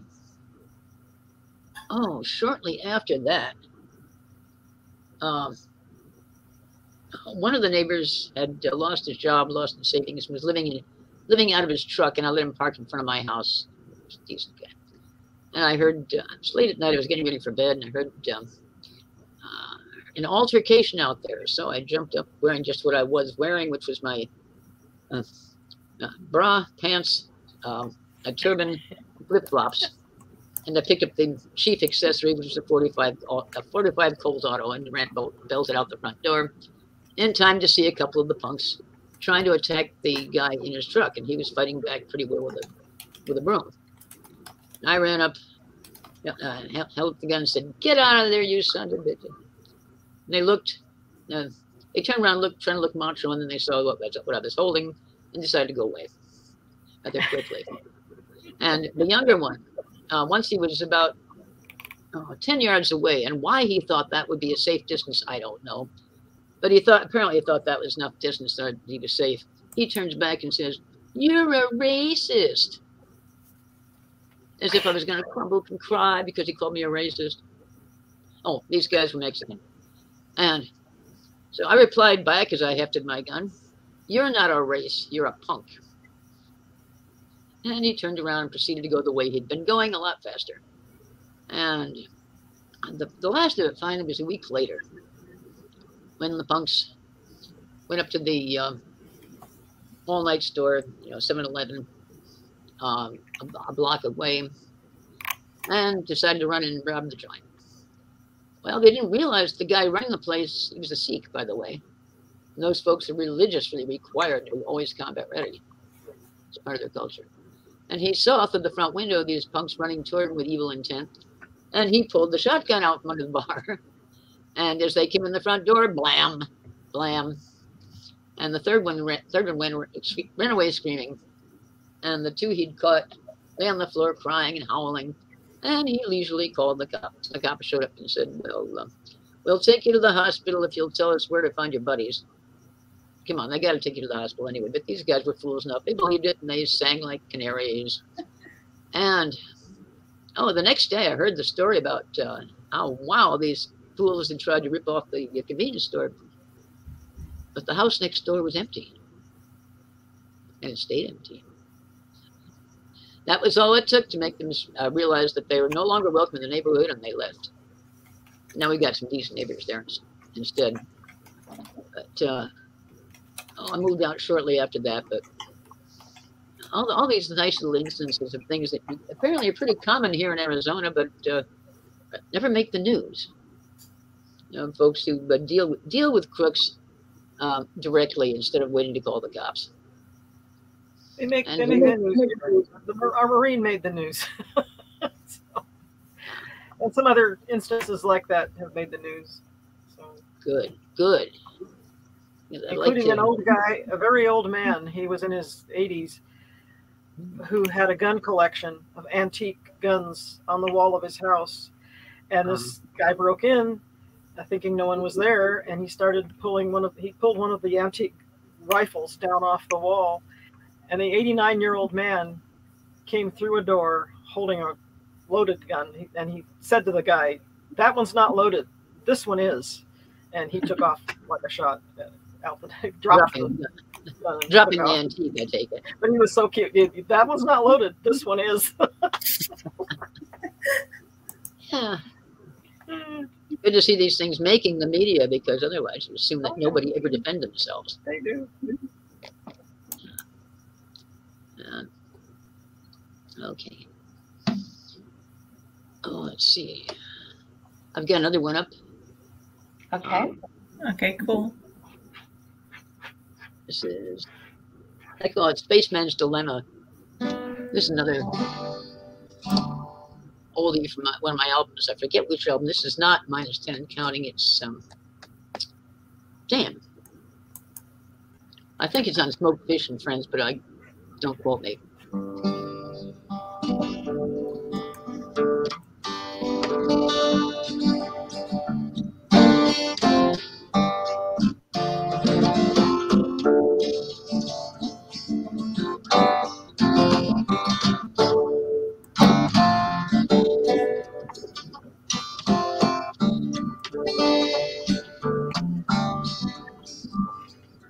What do you do when you got to choose? One may win, but the rest must lose. Leave a lot of girls singing the blues. Who do you love? Who do you love? Nama is red as the sands of Mars. I found her first in the spaceport bars. As hungry as me to reach for stars. Who do you love? Who do you love? Adelaide is queen of Col- Adelaide's queen of colony three. Rich as a poor man's dreams could be. She could have anyone, she chose me. Who do you love? Who do you love? Lyron runs her very own ship, clears 10,000 every trip. Wild in the sack, just let her rip. Who do you love? Who do you love? Is a princess of wild Kinone, wants my schooling for her own. She'd set me on a continent's throne. Who do you love? Who do you love? Ola's a priestess of great odds. Her oracle chose me against all odds. Her and my children would be gods. Who do you love? Who do you love? Yashabel is a gypsy lass. She'll survive through any pass. Thank you. A third rate ship, but a first rate ass. Who do mm-hmm. you love? Who do you love?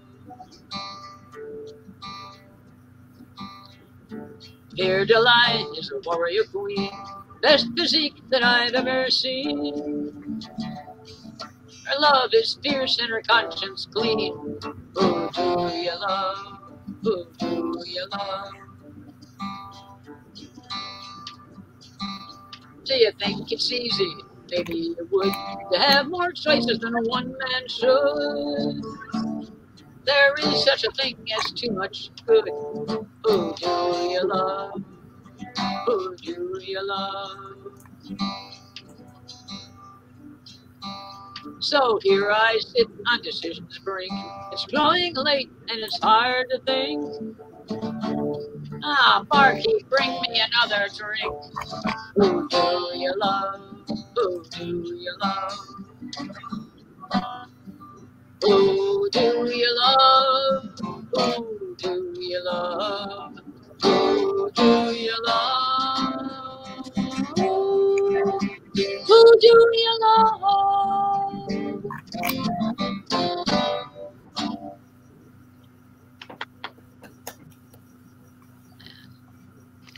Now leave it up to the viewer to decide which one he check, he picked.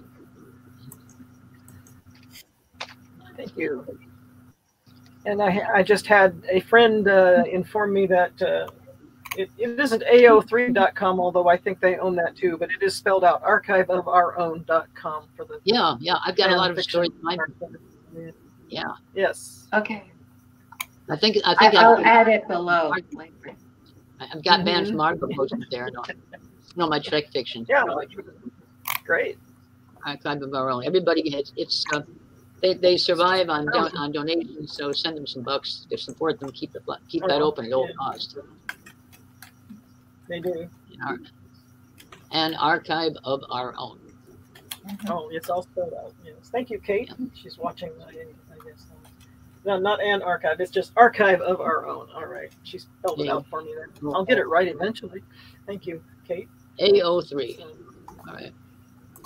I want to look it up right now. Let me see. Or- They, they're known as AO3 for short. Yep. Because an archive of our own is hard. It's a long name. Yeah, well, I, I did find it. Um, I was looking for your name, Jean, and I did fa- Okay. find your fiction there. You found me. Okay. Yeah, it, it, Yeah. it's under Jean Graham without a space in the middle. It's just the, the ones I posted. There's there's some that were posted by others that are there too. So and so we are in good company. Leslie's on there too. Yay! So, well, ladies, I'm mm. going to have to bow out. It has been fun. Oh. Thank you. All right. All it. Well, thank you for for coming on, and hopefully we can have you on again. Come back soon. Maybe Come back soon. so. If you can, if you can stand me. I will Oh no, we had a lot of fun. We would love to have like we like it when people come on regular. It's really wonderful sharing their writing, their music. That's what we hope to, you know, we like to have some guests that we can continue with and just tell us when you're getting ready to publish something. You know, we would love to hear about that. Yeah. Well, my my current my current uh, uh, that I think I've been writing lately is for a a gothic soap opera radio show, and so I can. It's Oh. called Harridge, Secrets of Harridge House, very much taken off of Dark Shadows, and uh, I've been I've been doing scripts, radio scripts for that for the last year, and, I- and uh, vicarious aggression. I get to kill people off. Oh wow. So you literally get to kill your darlings. Oh. I I get to kill. I've, I've gotten to kill quite a few people, starting with the evil librarian in the village of Harridge. Oh no. Streaming, streaming radio drama on, on, on the Yeah. net. What a Radio, radio shows are a thing again. I did not know that till they asked me to write What? Some scripts. Wow, that's it's awesome. I would love to hear more about it. If you ever want to come back on and tell us, that would be Okay. awesome. We'd love to hear about it. These are great. It's on it, it's on a Las Ve- it's on a on a Nevada uh, radio station, but it's also on the on the internet. So if you just put in "Secrets of Heritage House," you'll find several places that have have it on podcast. So uh, Okay. you can you can hear some of it. But Yeah, thank you all. Okay. And I appreciate Oh, good night, Jean. See- Thank Good you. night, We'll have to Jane. say- come back soon. Bye now. Bye. Okay, thanks. Bye bye. Bye. Oh well. And then there were three. Can you hear me? Yes, we Yes. hear you. Yes, yes, we're still here. We're still here. We're still here. Yeah. 115 years and more, and we're still here. Wow. Oh, let me see. Okay, well here's the here's another classic. Misty Lackey.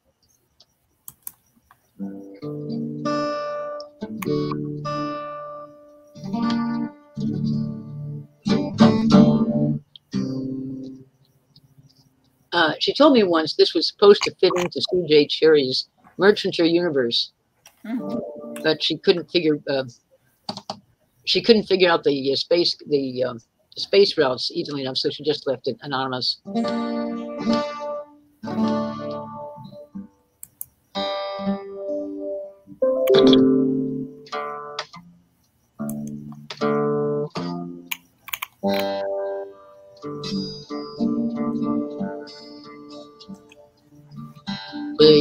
me a favor, piano man, please? I want you to write me a song. They call me the hero of Antelope's Run, and I've got to tell them they're wrong. You see, it all started a week ago in the bar down on corridor three. There was nobody there but us regular bums, two losers, the barman and me.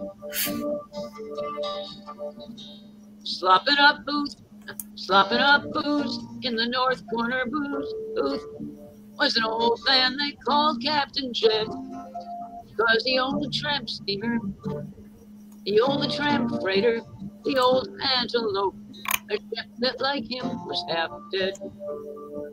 And Molly, they say, was a crack pilot once, a gal with a brilliant career. But then she started doping on Regulus One and finally washed out down here.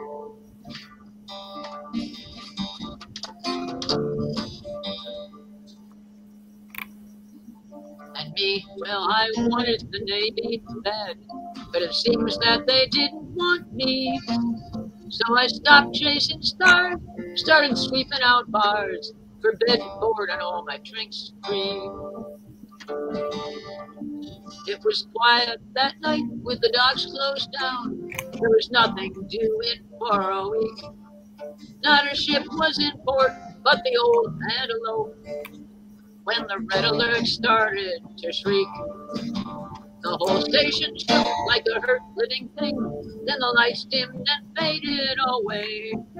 Then the gravity went, then the air pump spit out, and the bartender started to bray. ah, stow that bilge. Head for the antelope now. Jed's voice cut the dark like a knife.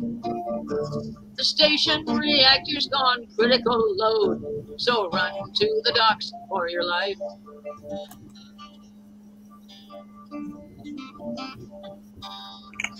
When we got to the docks, we found waiting out there every soul that had been left alive. They begged with their eyes for poor old Captain Jed to tell them all how to survive. Break out the suit, said the captain to them, cause it's dark and it's airless and cold. But I swear I can get you all out of here safe, back into the antelope's fold. Molly, he asked, can you navigate? Aye, she said, who do we have for a crew? The antelope needs only three hands, he said, and I think our tall friend here will do. The confident look that he gave to me then made my heart turn over with pride. I never once thought about backing away. I think I would rather have died.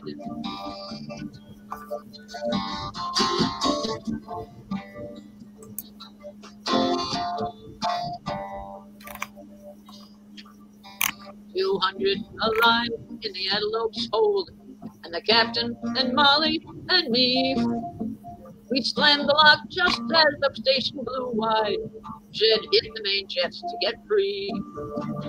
Now that kind of G-force is rough on the heart, too much for his liquor to take. So when we came around and we saw how he lay, we knew Captain Jed wouldn't wake.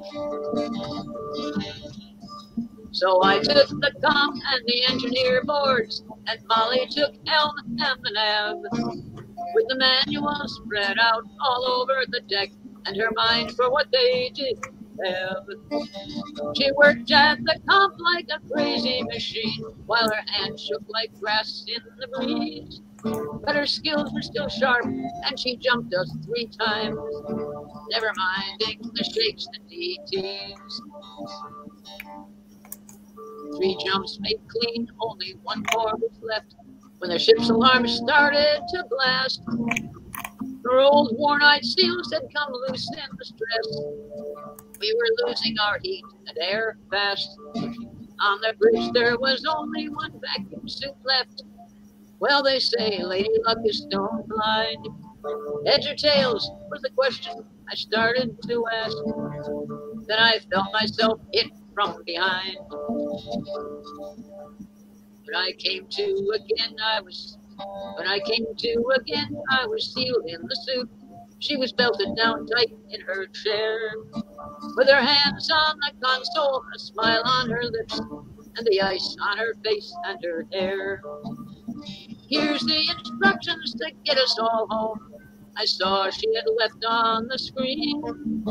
If any old shipmate should ask after Moll, just tell him she finally died clean.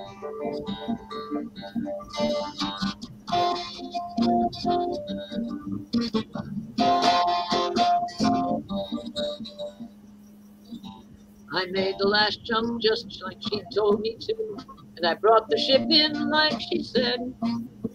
They call me a hero now for what I did, but they don't mention Molly and Jed. So write me that song now, piano man, please, and sing it out often and loud. So they all know the story of some kind of hero, the kind that makes everyone proud. But some kind of heroes are lunkheads like me, who only do things that they're told. And some kind of heroes are out for the glory. They're heroes on purpose and cold. Some become heroes for bravery, sure, and some just because all is lost. But a few are the heroes like Molly and Jed, who give without counting the cost.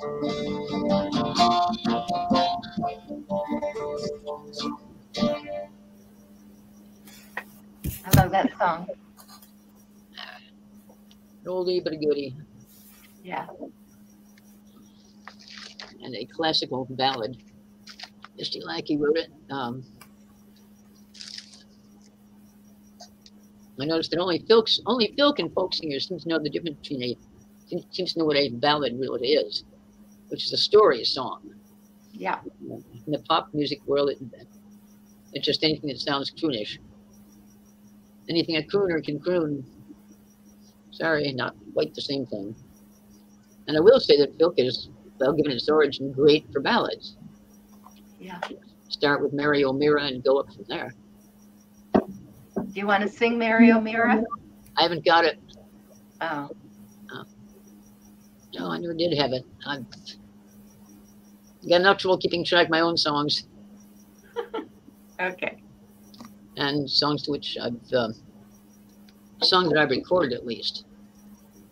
He did an awful lot of recording back in California. That's the thing I miss the most. A lot, well, along with the conventions. Oh, is Eli not recording you uh, some No. new songs now? Right? No, Eli's. Uh, well, Eli just put out a one shot on um, uh, what is it? Song Daddy, whatever. But anyways, put put out one a one shot uh, GoDaddy?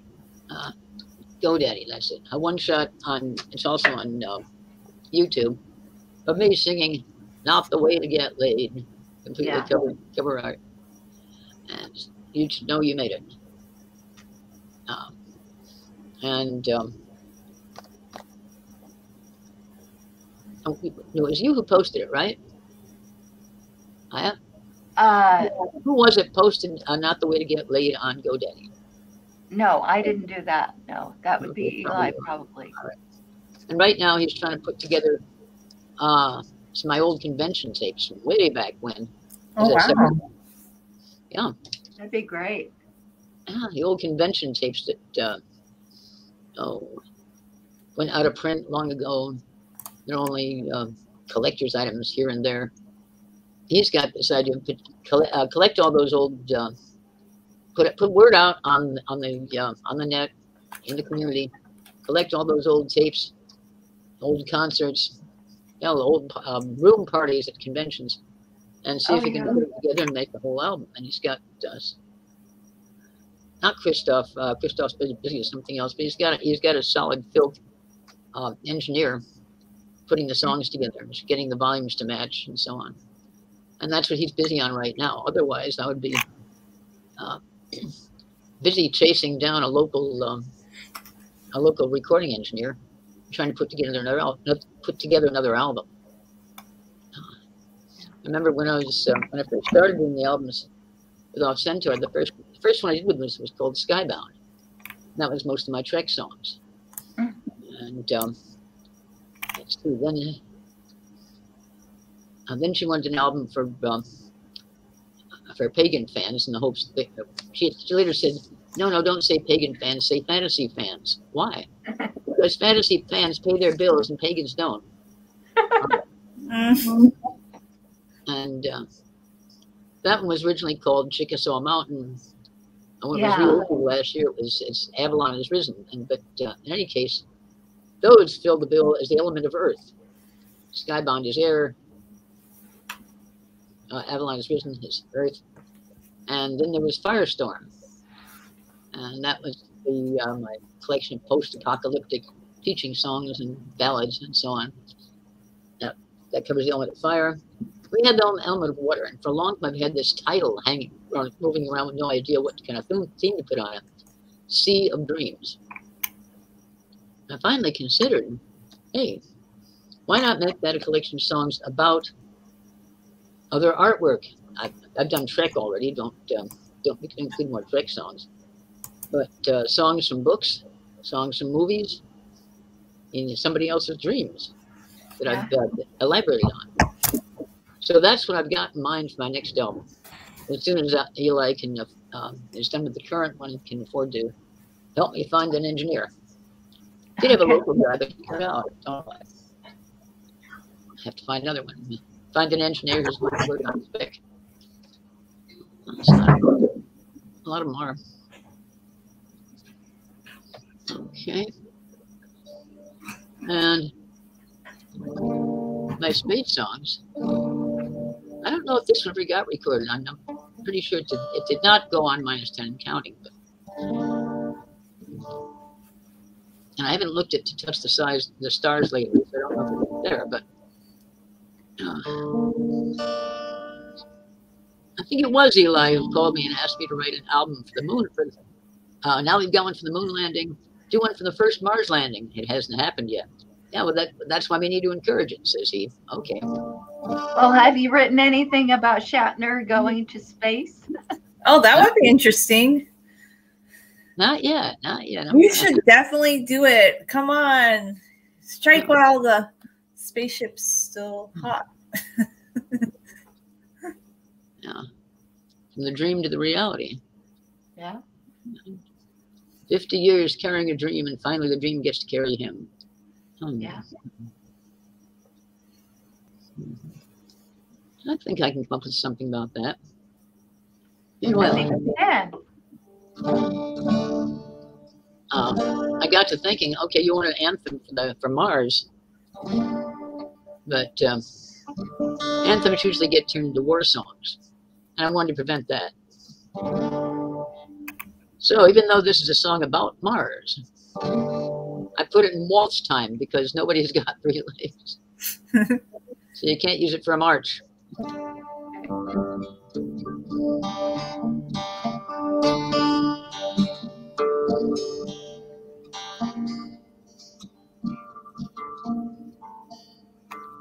Long the dark, my orbit I rolled, waterless stars, desert, and waterless gold.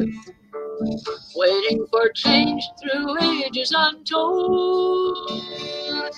To Jimmy, welcome, welcome to your second home. Scarce was the life I nurtured at all. Changelessly simple and changelessly small. Waiting for hope from heaven to fall. To me, welcome, welcome to your second home.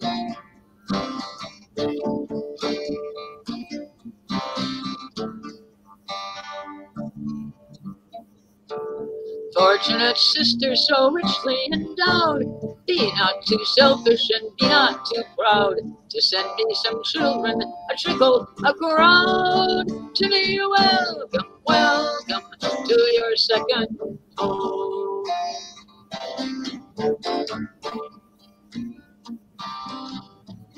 Venturesome fosterlings coming at last, breaking my silence of the long ages past. To this fair breast I bid you hold fast. To me, welcome, welcome to your second home.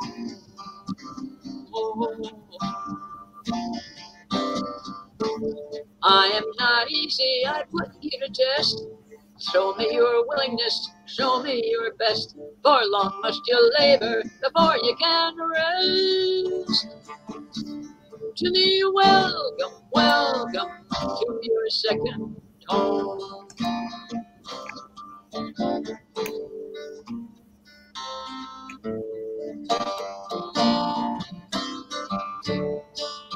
Come dress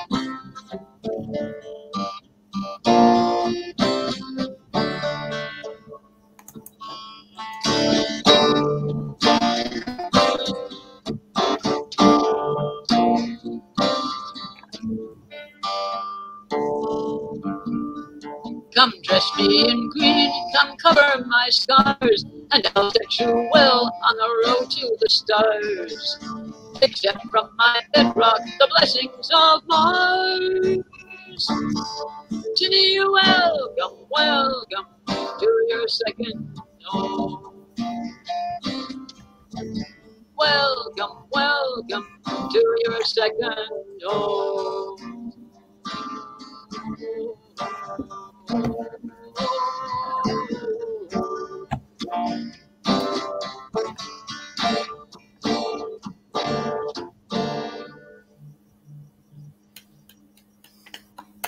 I like it. Thought that got the idea across without giving a chance to make it into a war song. Yeah. For sure. I understand. I mean, I've seen people marching into battle, but waltzing would be a bit of a stretch. That's true. What do you guys think was the first um, military band? Like, what is your theory on that in history? Oh, the first military band was meant to literally provide background music uh, for the. No, but who who do you think? Like, which culture do you think had the first military band? Just Probably the ancient Greeks. the who? My guess would be the ancient Greeks. Probably, I would think so, right? Because people are saying, "Oh, it started with the American Revolution." I'm like, no, it went farther back. I just thought that. Well, I don't know. I think maybe the Sumerians.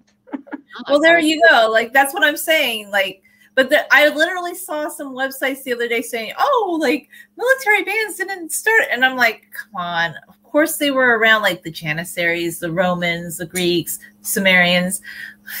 I, I know the um, the Egyptians uh, had cow horn trumpets to signal the troops and urge them into battle, but that's not quite the same thing as a band. I mean, between black, go forward, black, go forward, um, and a real song is a, a good difference.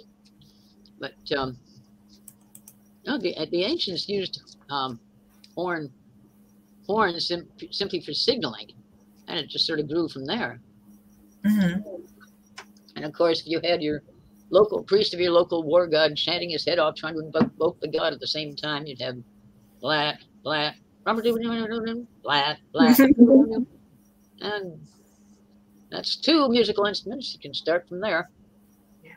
And now the stringed instruments didn't make it into military bands for a good long time because they're too quiet. Drum and horn, yeah. Interesting. Yeah. And let's see. Drum, horn, and pipe. Um, Oh, you hear you've seen all the all lovely old Irish rebellion, rebellion songs about uh, play the fife and the drum and the fife and the pikes and the fife and the yeah. the, even the penny whistle is a strong, shrill sound that you can hear above the crowd. So your first military band, as such, would have included uh, a horn, preferably brass, but a cow's horn will do. A horn, a drum, and a pipe. Hmm. Uh, fight, and this is where you get the uh, old saying about uh, with the fife and drum, chum rum, a rum. So, okay, it would go back as, as far back as the pipe, the drum, and the and the horn. Well, well back before histor historical record mentions them, before there hell, before there was literacy. That's pretty far back. mm. So exactly when they became bands, you had three instruments. Once, so you would say like once there's three instruments in there, it's starting to become like a military band. Interesting. And they've got to be loud and shrill enough to be heard. Therefore, the, the drum, one thing to pace people in, in, as they're marching. One problem with moving a large bunch of men is you got to make sure they don't get in each other's way or fall over each other's feet. Mm -hmm. That's what close order drill is about. Okay, you guys line up this way with this spacing, and now left, right, left, right. No, no, don't trip over Jackson.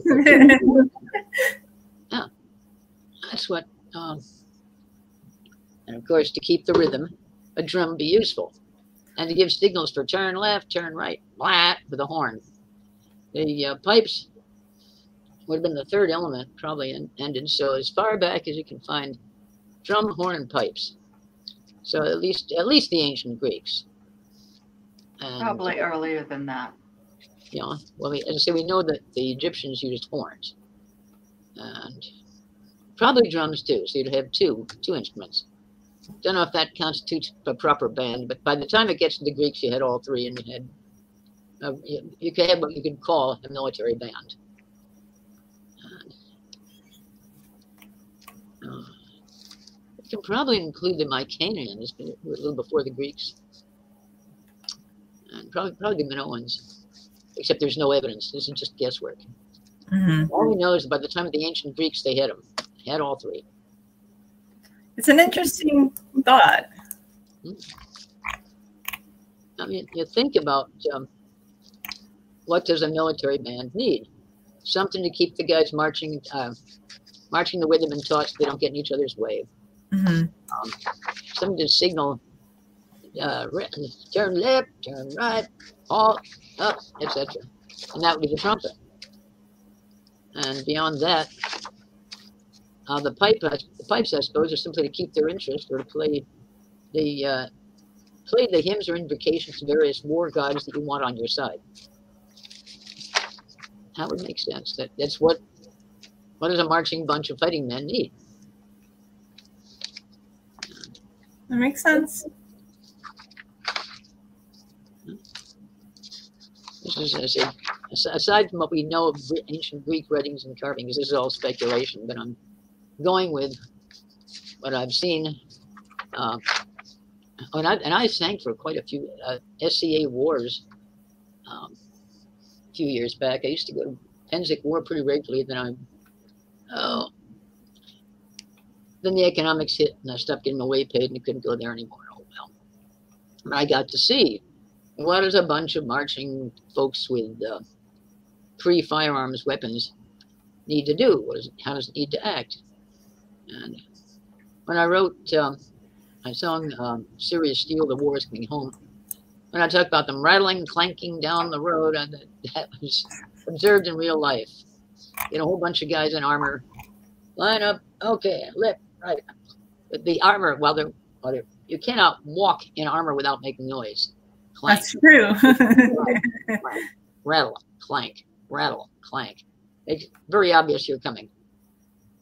And, uh, the chief problem with getting orders across in a mess like that is that it's loud. You have to have something that could get cut through the noise of the uh, of the battle and the warriors themselves.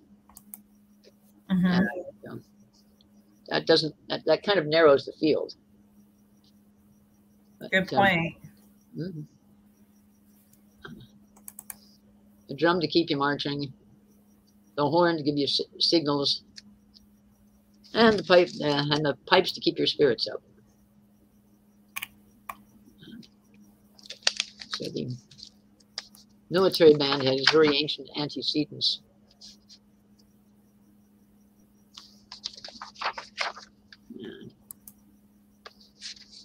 What Widget said that they were a recent invention. Hmm.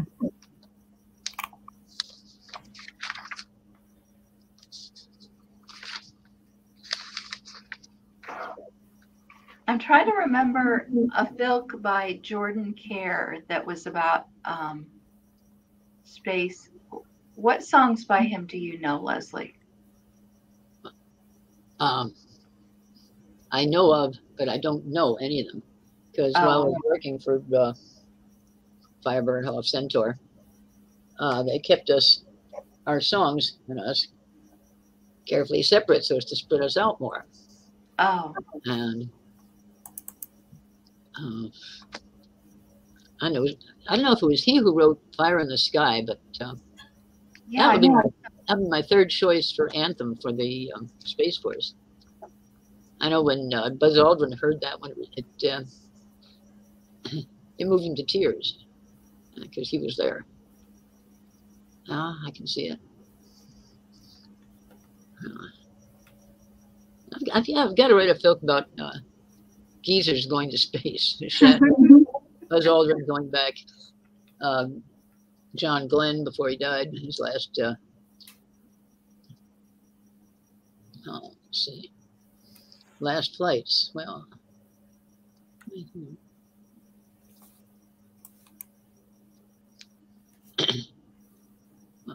There's an idea there. It's percolating. I'll get back to you. Cool. Okay.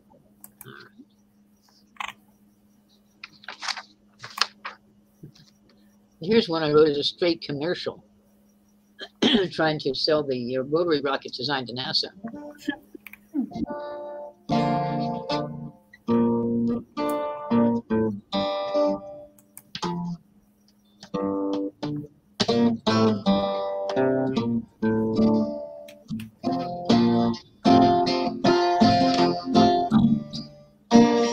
Oh yeah, this was written after uh, one of the experimental uh, rockets had blown up on the pad, and NASA declared that reason enough to scrap the whole design.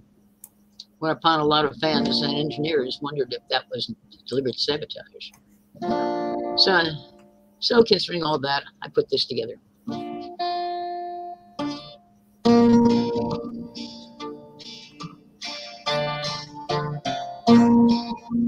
Hello, NASA, how do you do? I've a sturdy rocket ship I'd like to sell to use. Singing, why buy a dog? Why buy a pup? I've got a ship that you can't screw up.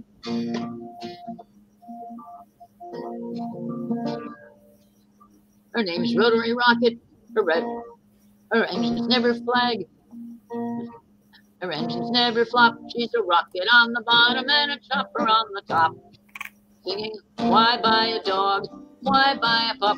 when I've got a ship that you can't screw up. She's of skies and tested, sturdy and complete. Even your worst engineers can't knock her off her feet, singing, Why buy a dog? Why buy a pup? When I've got a ship that you can't screw up.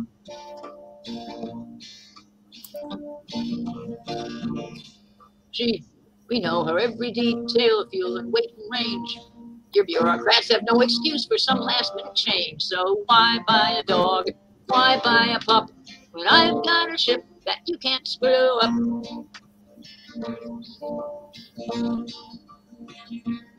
She launches, she launches straight up, hauling cargo like a truck. Your worst, your worst pilots can fly her, but there's nothing they can ruin. Why buy a dog? Why buy a pup when I've got a ship that you can't screw up? You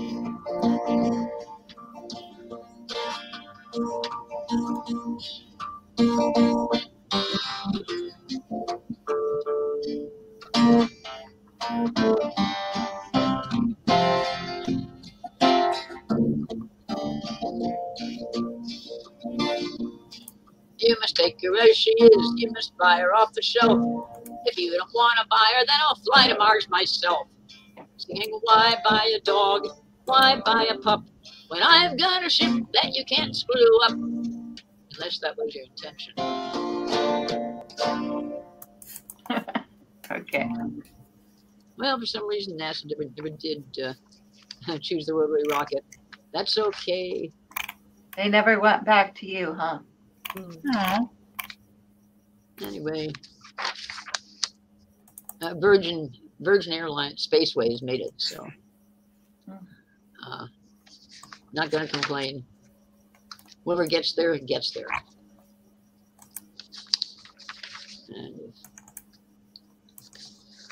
oh, and if the Biden administration has uh, absolutely ignoring NASA or uh, the whole space race, fine, let them. Everybody else will do it instead. Yeah, he's kind of having a hard time keeping his sentences straight. So what can you say about that? You know? Well, it's better to keep the government out of it, don't you think, Leslie? Yeah, if you can, at least get them. At least if you uh, can't get help from them, make sure they're out of your way. Yep. There's one thing they're very good at: is screwing up, taking over, and screwing up. Um, It takes three weeks for regular communication to happen. Found that out. I'm like, hmm, response is kind of true. And hmm. I'm trying to think there was, But you know how, like in the business world, like people communicate, it happens right away. But yeah, it- it's like when you're dealing with bureau, it takes a long time. I think that's another interesting aspect about it. Everything's slower. Mhm. Yeah, they're going to slow our mail some more, too. Yeah, they want to slow down the mail communication. Like, I don't know. It's just like you would think simple communication. Like, let's just figure out how to they want to slow it down until they can read it all. Yeah, that's And then look at what the NSA is. It's all these young guys, and they found out it was like a lot of it was compromised, and they were like using it to spy on their ex girlfriends. So, Mm, how does that make us feel safe? It just makes me think, hmm, the government hired dropout, high school dropouts that might be intelligent, but they're hackers and they're tracking their girlfriends. Hmm. Yeah, great choices, guys. late project. Yeah. I mean, the NSA started off as a spy, um, electronic spy division. They they were supposed to. Oh, in World War II, they're supposed to spy on radio transmissions and decode radio codes. And they did such a good job at it. The government patted them on the head and filled their pockets with money, and they and they, and it went to their heads. yep, for sure. And now You know what? I gotta say is the most ridiculous. Like if you look at all the different projects that the government remote viewing, like really, you spend millions of dollars on a project where you're gonna have somebody sit in a room and they say they can remotely view what an what the enemy might be thinking. I'm like, really? What, what they're trying to do is round up psychics to have them work for the government. That is a tricky proposition. Under Why would you want to though? Like, why would a like a respectable psychic want to work? There you go. I don't think they'd want to if they're respectable, if they really care about like their, you know, I'm not I don't want to say craft, but their gift. Yeah. It just doesn't seem like the way to use it, but Well, there were some people who did volunteer, you know, gullible or greedy or whatever, and they did get some good results. Um, uh, intel, what they used to call uh, human intel. Mhm. Um, it, uh, that did pan out, but they couldn't get. Uh, they weren't reliable, which is understandable. Uh, Your psychic ability depends on time of day, how, how you're feeling, whether you had enough sleep, things like that. It cannot be put on an assembly line. Sorry. no, it can't. That's why I just find it humorous, the whole thing. Mhm. Just like really? They did get some good. In, I mean, yes, I'm not saying like everything, but how much some of it too. Like when they messed up, it was pretty humorous. Yeah. yeah, and how much and how much and how much money are you guys spending on this? Yeah. Or like the million dollar tractor that like the Forest Service needed. A million dollar trade. Oh yeah, there were like these tractors, and they didn't even really use them. And like, oh, it was like almost a million dollars. Like, it, it just when you start looking into all the types of waste, you're like, hmm, yeah, Million dollars dollars for a tractor? yeah. It was, uh, it was basically what it was. Was it was a contract given to a company. It was just a, it's nepotism, is what it is. Like because there's no way you need to spend that much money on a tractor. Think about it. You know, I'm just saying. Yeah. I mean, if you're a private company, yeah, for sure, but I, they weren't utilizing it. It's just a waste of taxpayer dollars. But whatever.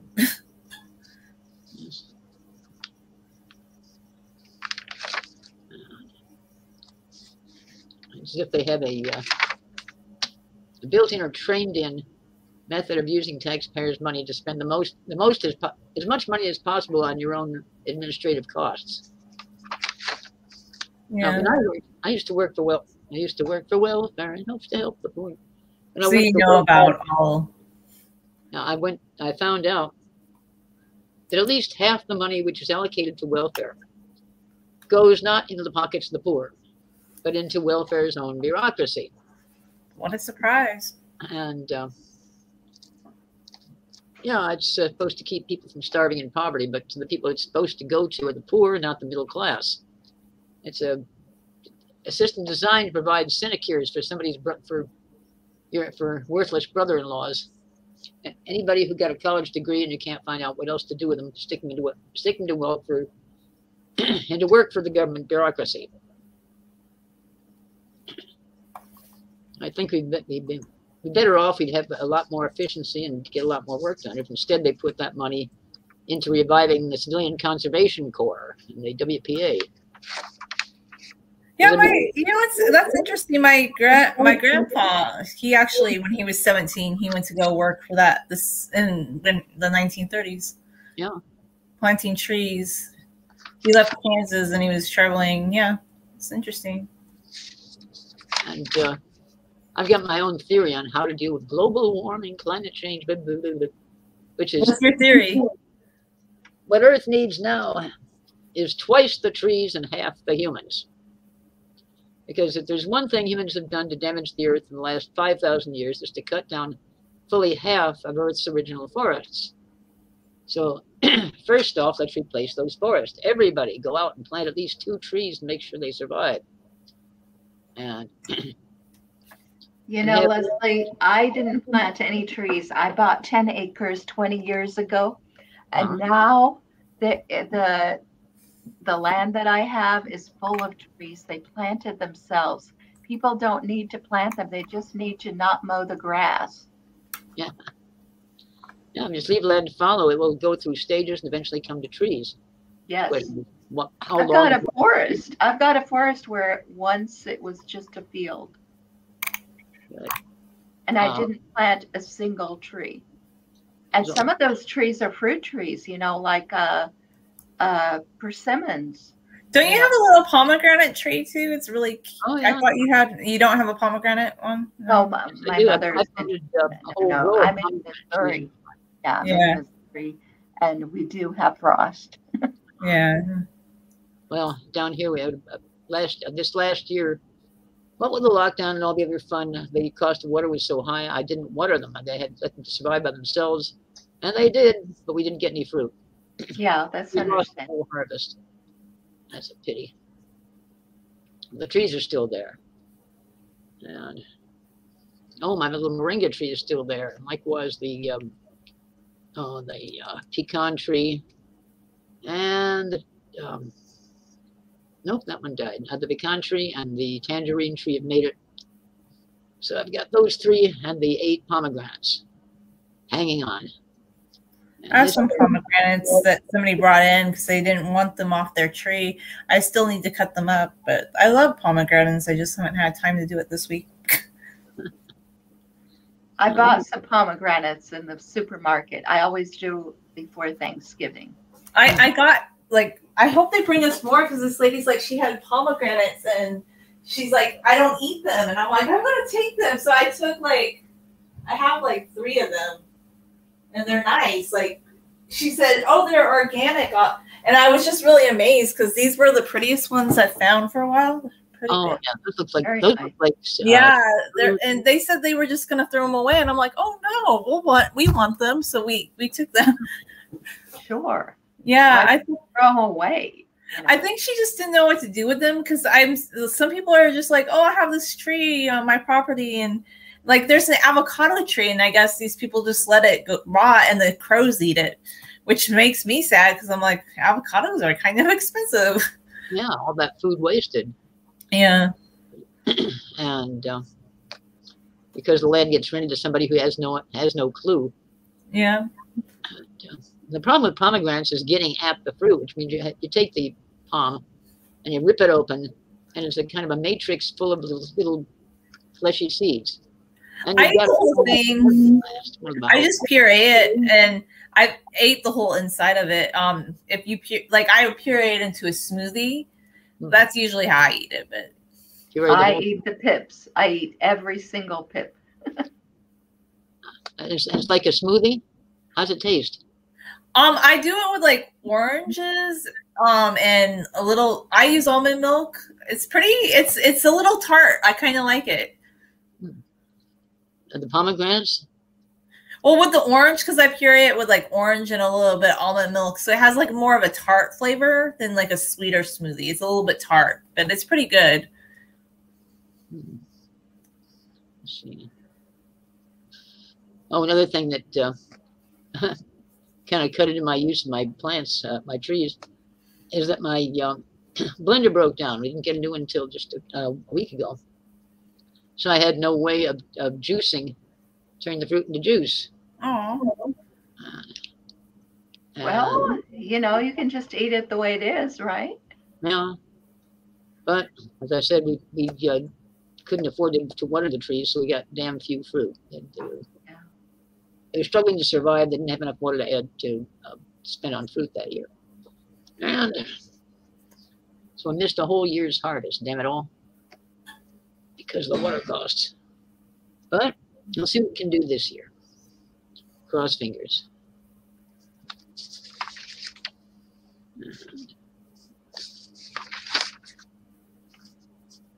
Yeah. Even here in mm-hmm. Missouri, where it rains a lot, it hasn't rained that much this year. and that's surprising because it used to rain a lot there, right? Or more anyway.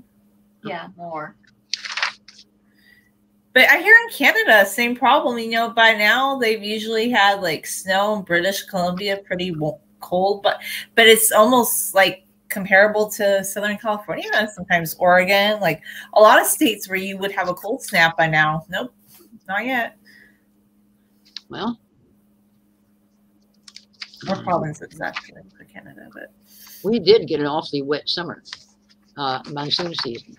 oh, that's what I heard. We were so dry, and we had one little rainstorm, and that's it. and I'm like, it's still dry, but yeah, what are you gonna do? Hmm. Well, you can pay to truck the water in, and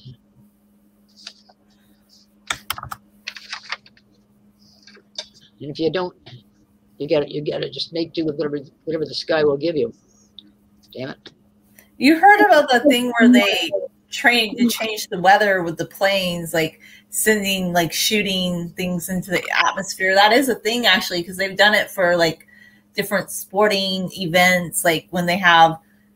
It's interesting. You can manip- they've manipulated the weather for years to some degree. You know, to try to uh, if there are clouds over here, you try to lower the air pressure so that all the clouds over here will come into the same area, then put them down. Nice work if you can do it. But um, there's always a, a rebound, a bounce back, and you better be ready for that. Now I wrote a uh, pagan psychic raid ritual that works, but I um, I wouldn't recommend doing it too often because uh, you get rain when you want it, and then uh, there's a rebound, and you get dry for longer than longer than you expected.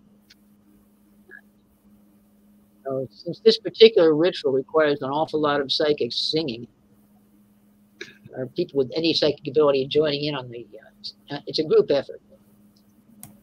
Interesting. That's cool.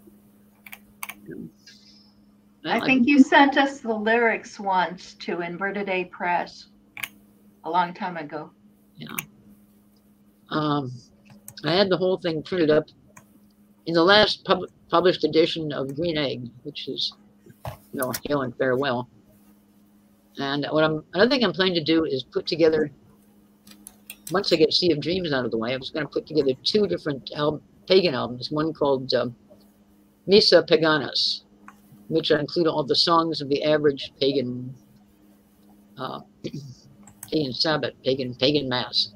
The uh, oh the the drawing of the the drawing of the boundaries, uh, the invitation to come in, the uh, expelling all the every expelling every known bad guy in the neighborhood, known good guy.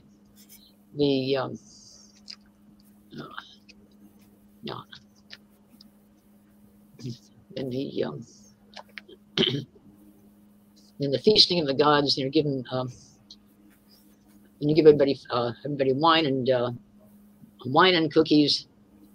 Then you invoke the gods and ask, uh, and then there comes the working, where you tell them what you what, what you want them to do, and then then there's the thanking, you give you give the gods more more goodies, more more cakes and wine, and um,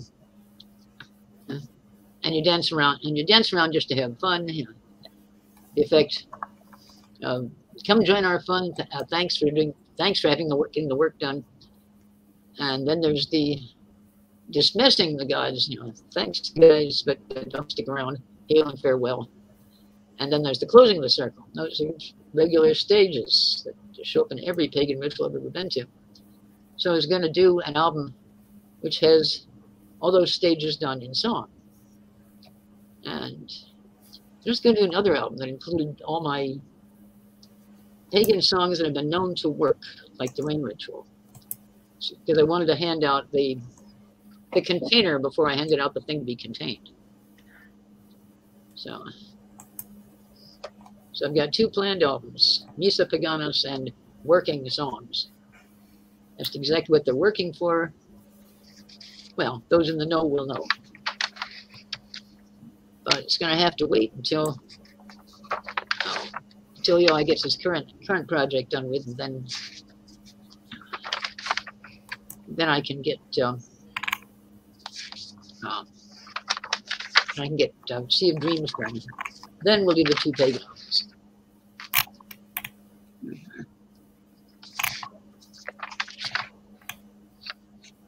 That's what we've got right. That's what we've got in the fire right now. Okay, that's that's plenty.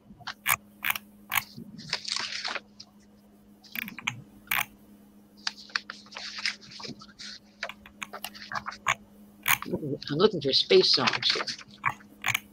This is blue space.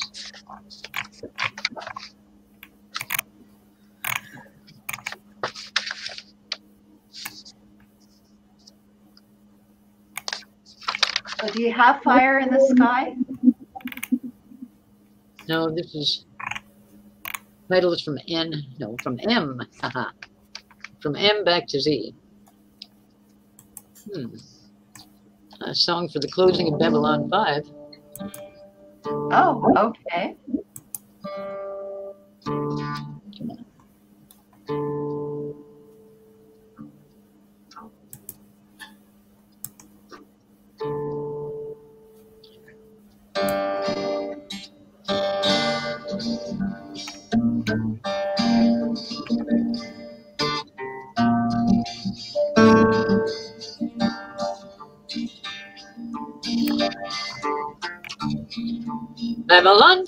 Will sail no more. She's done all we made her for. Set the peace and won the war. Babylon 5 will sail no more. Last flight out from Babylon, the wrecking crew is getting on. One look back and then we're done. Last flight out from Babylon. Babylon 5 is blown to hell. We watch the fires grow and swell. She lived and fought and ended well. Babylon 5 is blown to hell. Night falls over Babylon, she'll never see another dawn, just her legend rolling on. Night falls over Babylon.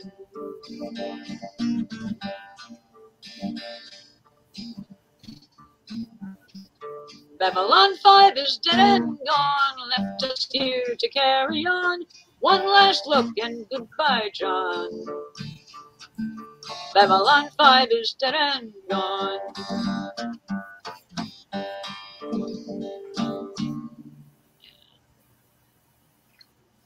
Was a great series, and I hope they're selling as a box. They're selling the reprints as a box set.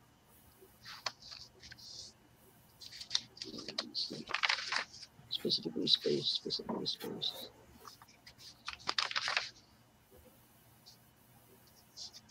Nope, that's Navy, not space.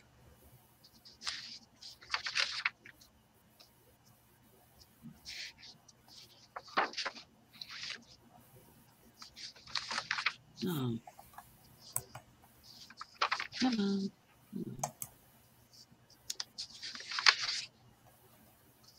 Science fiction covers such a very wide range of topics that specifically, specifically, specifically space songs are.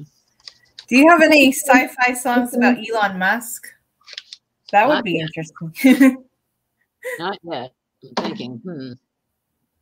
I just I feel like that would be timely. Something about William Shatner, Elon Musk, kind of parlay them in there. You know, you have to do it. I'm just saying. I think you could do it well. Geezers in space. I really, oh my gosh, please, please write it. Hmm. I know an, i- an idea is shaping up. Patience. patience. And that's going to be the name of the live stream, Maya. Like once she writes it, we have to- Geezers in space. Sure. This, this is what I want. I, I want it. I have to get my- Okay, well, we could do it next month. How about that, Leslie? all Are you ready? I don't know, but I'll certainly have time to do research on John Glenn's flight, Buzz Aldrin's last, and uh, William Shatner's.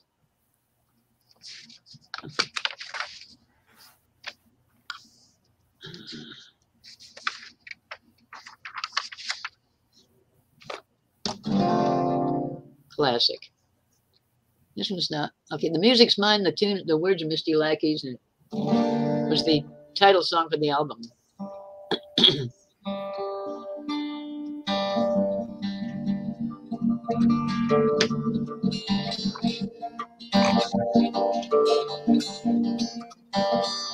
It's minus ten and counting, and soon she will be gone.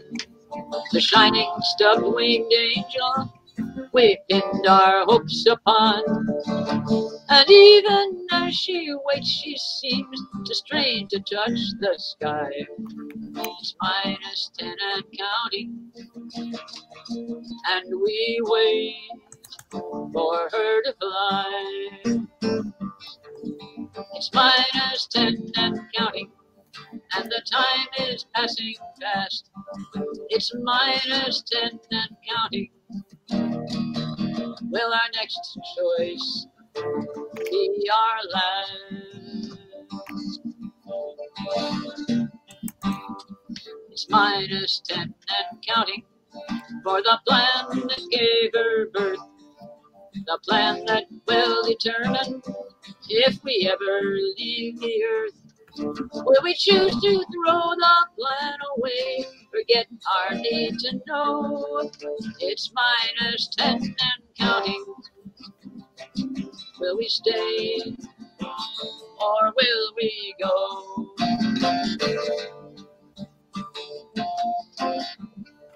It's minus ten and counting, and the time is passing fast. It's minus ten and counting. Will our next choice be our last?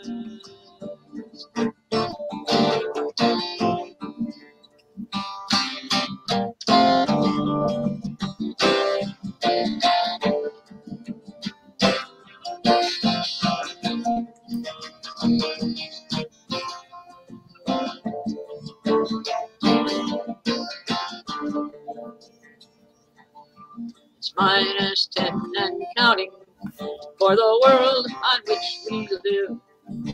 We're swiftly using all this lovely planet has to give. The pressure builds, and soon a chance to escape will pass us by. It's minus ten and counting. Will we grow or will we die? It's minus ten and counting, and the time is passing fast. It's minus ten and counting. Will our next choice be our last?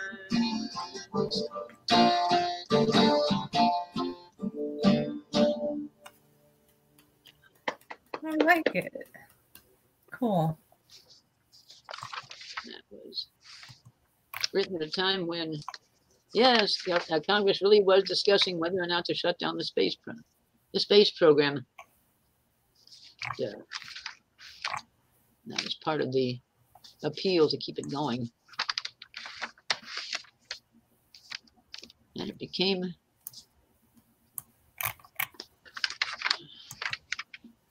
became the title of the whole album, which sold quite well. Apparently, an awful, an awful lot of people out there wanted to see the um, wanted to see the space program go on enough to keep that album in print, or at least in the internet, at least roiling busily on the internet ever since.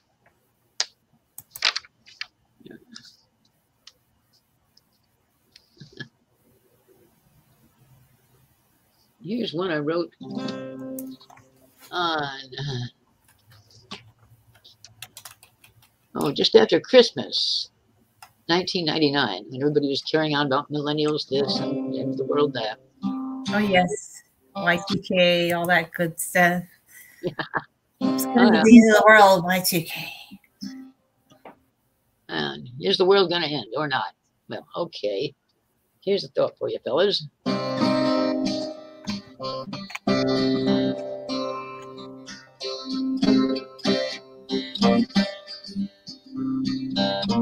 Merry millennium. No point in being glum. Get set for what's to come. Merry millennium. Will the world end in fire by some angry gods to die, or or smart missiles being dumb? Merry millennium. Will the world end in ice? Mammoth meat, they say, is nice. Thanks to cloning, back they've come. Merry millennium. Merry millennium. No point in being glum. Get set for what's to come. Merry millennium. Will the world end in flood?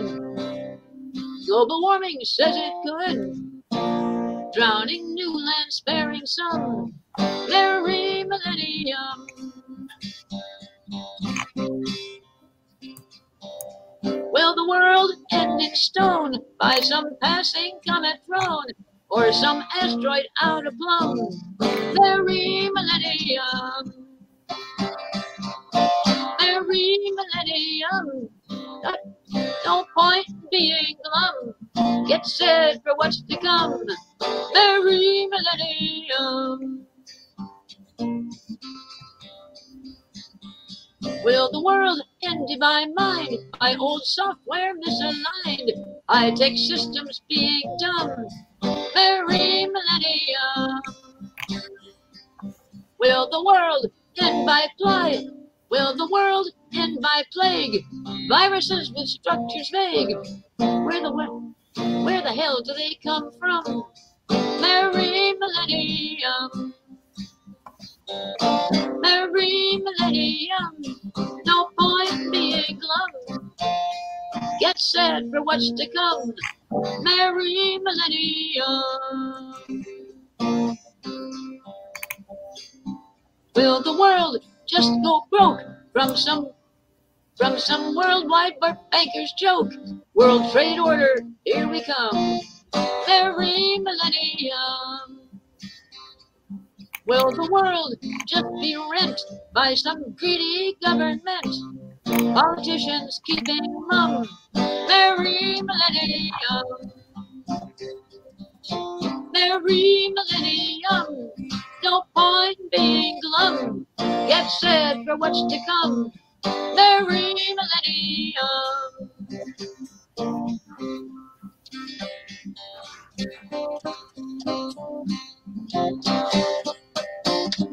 Will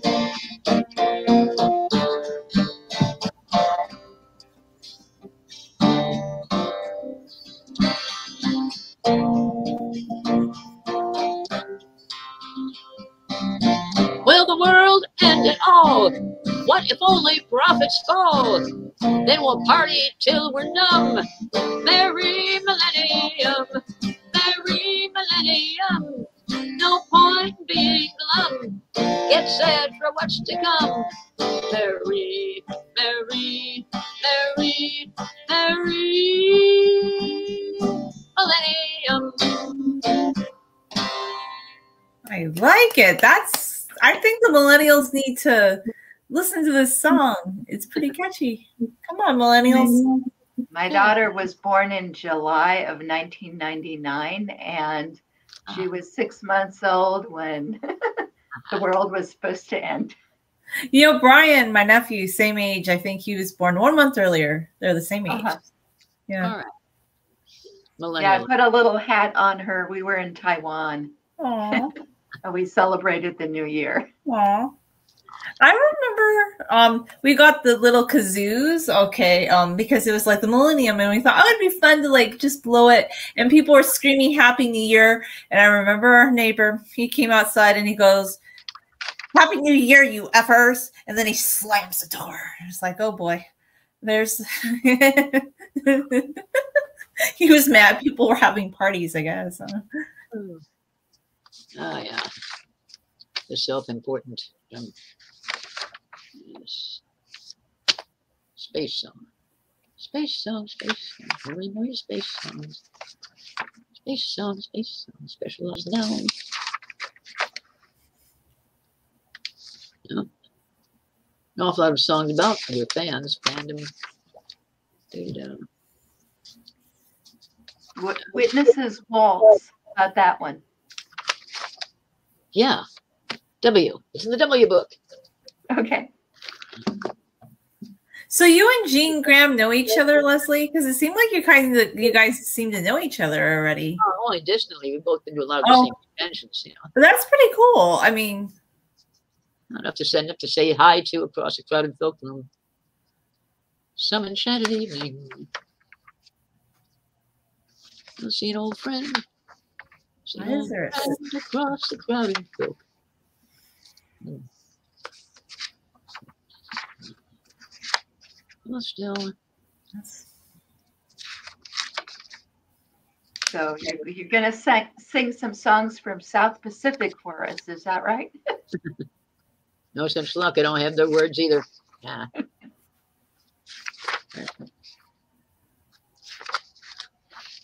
Come on, I know you're here.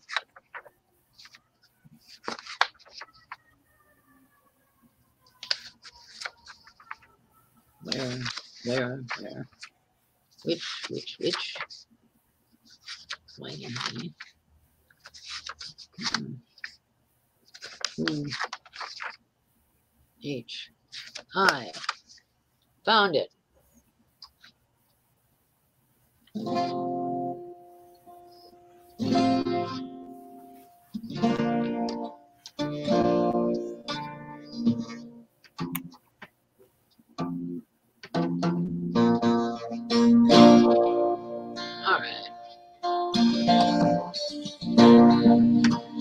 12,000, half million, million and more, picnicking out on the warm water shore. Nobody knows that we're always at hand to watch all the spaceships that take off and land. Come along, Harry and Mary and Joe. Bag up some lunches and everyone go. Fill up the camper, drive down to White Sands, and we'll pour the champagne when the space shuttle lands. Twelve thousand, half million, million and more, picnicking out on the warm water shore. Nobody knows that we're always at hand to watch all the spaceships that take off and land.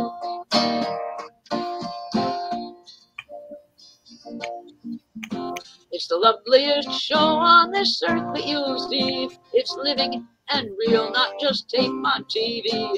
So come to Canaveral and bring lots of beer. When the spaceship takes off, we'll all stand up and cheer. Twelve thousand, half million, million and more, picnicking out on the warm water shore. Nobody knows that we're always at hand to watch all the spaceships that take off and land.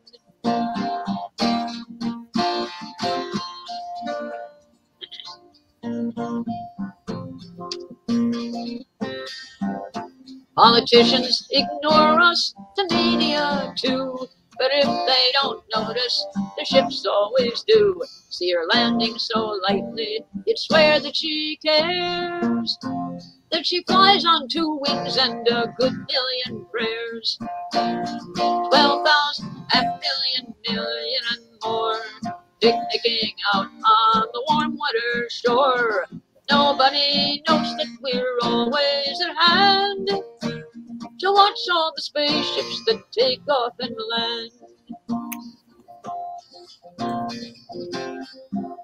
So come, let's go witness the takeoff today, while the world's biggest beach party cheers her away. We'll bang the drums proudly and blow on the conch. Leave a sign on your door that just says out to launch. At 12,000, half million, million and more, picnicking out on the warm water shore. Nobody knows that we're always at hand to watch all the spaceships that take off and land. To watch all the spaceships that take off and land. Okay.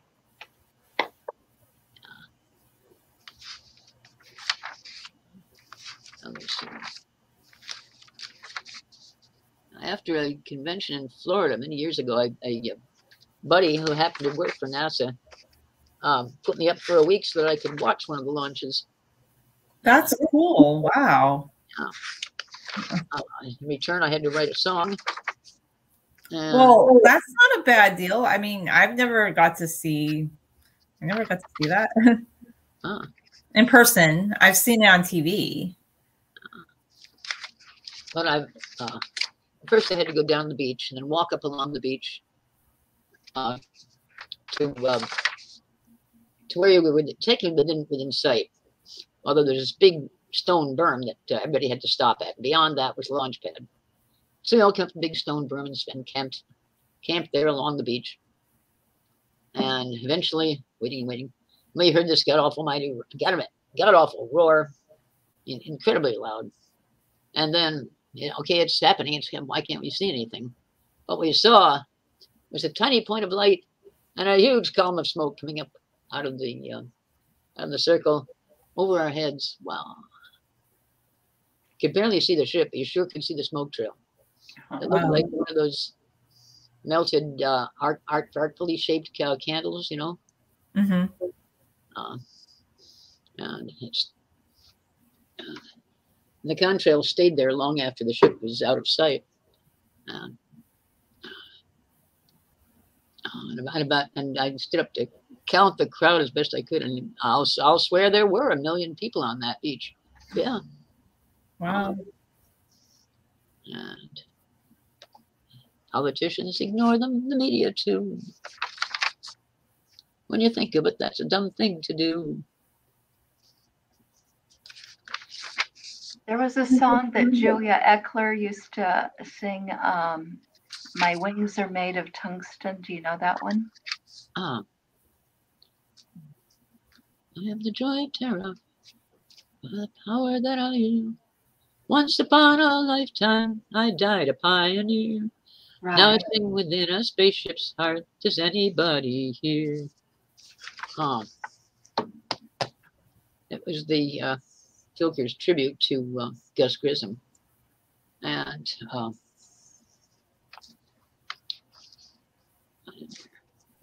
no, I don't have it in my book. Damn it! It's in it's in the minus ten and counting album, Yeah. but I don't have it. It's there. Does anybody have it? No, wait, that's not not the Pioneer. It was um. uh, That's That was Jordin Kare's song. It was The Luck of the Pioneer. That's the a different one. Yeah. the Luck of the Pioneers. That one's Jordin Kare's. I can't think of the title of the uh, that song. That's the tribute to Gus Grissom. Um,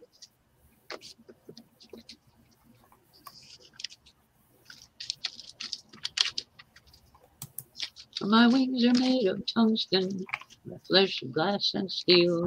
I am the pride of Terra, for the power that I yield. Once upon a lifetime, I died a pioneer. Now I live within a spaceship's heart. Does anybody here? I can't think of the title. Can anybody um Julie, can you look it up? Can you look it up? Let me. What's the name of the song? ag- The the. Well, I mean, just look up uh, My Wings Are Made of tun- Tungsten okay. and then add Julia Ecklar to it. And Okay, my find it. wings. Okay, my wings. what made song lyrics?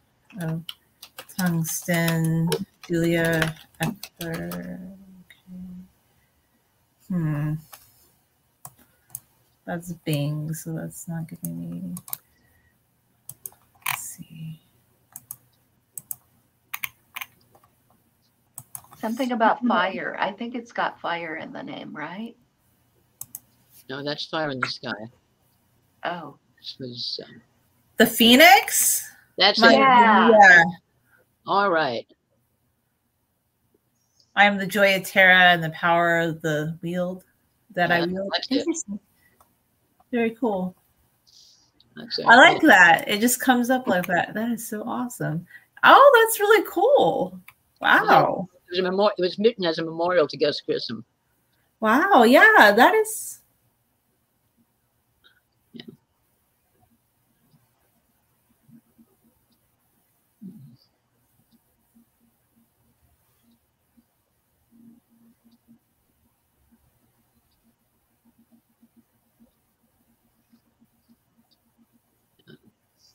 I don't have the words. If you, I could, I could probably sing. I could sing it. I could probably play it if I had the words, which I don't.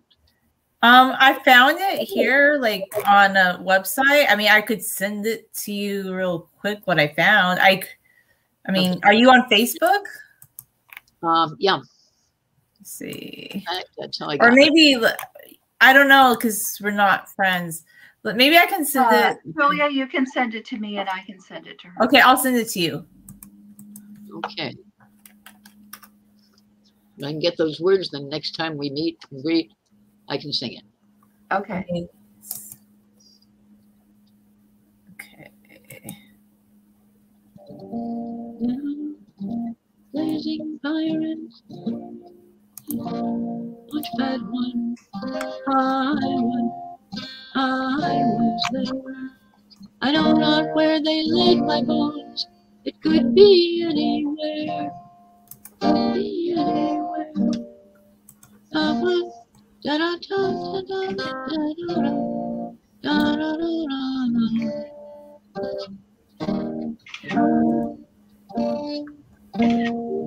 I'll also send you the link that I found. I'll find the link for it too.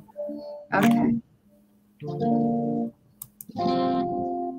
I just copied it real quick so you can see it.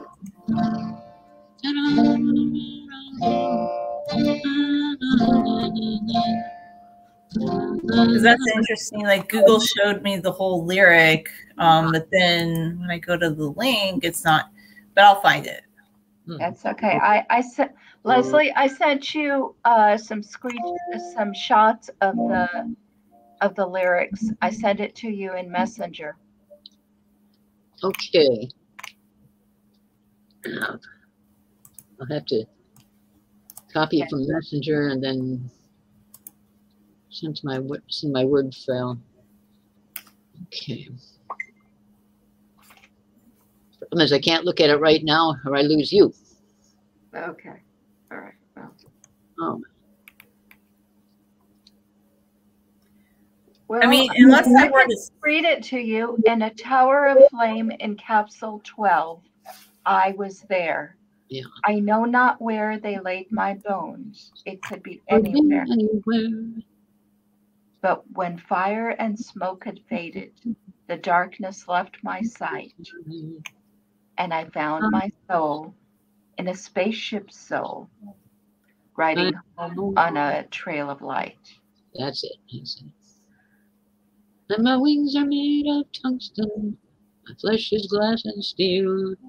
I am the joy of Terra for the power that I wield. Once upon a lifetime, I died a pioneer. Now I sing within a spaceship's heart.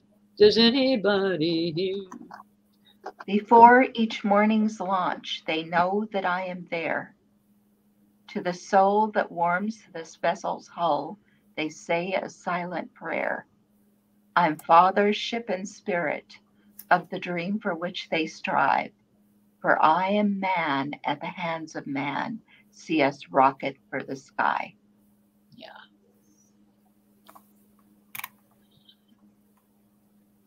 Oh, yeah.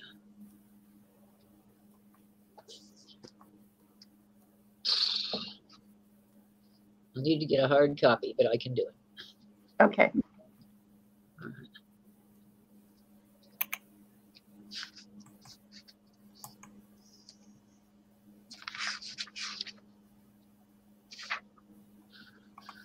I heard that Julia Ecklar doesn't perform anymore. Is that true?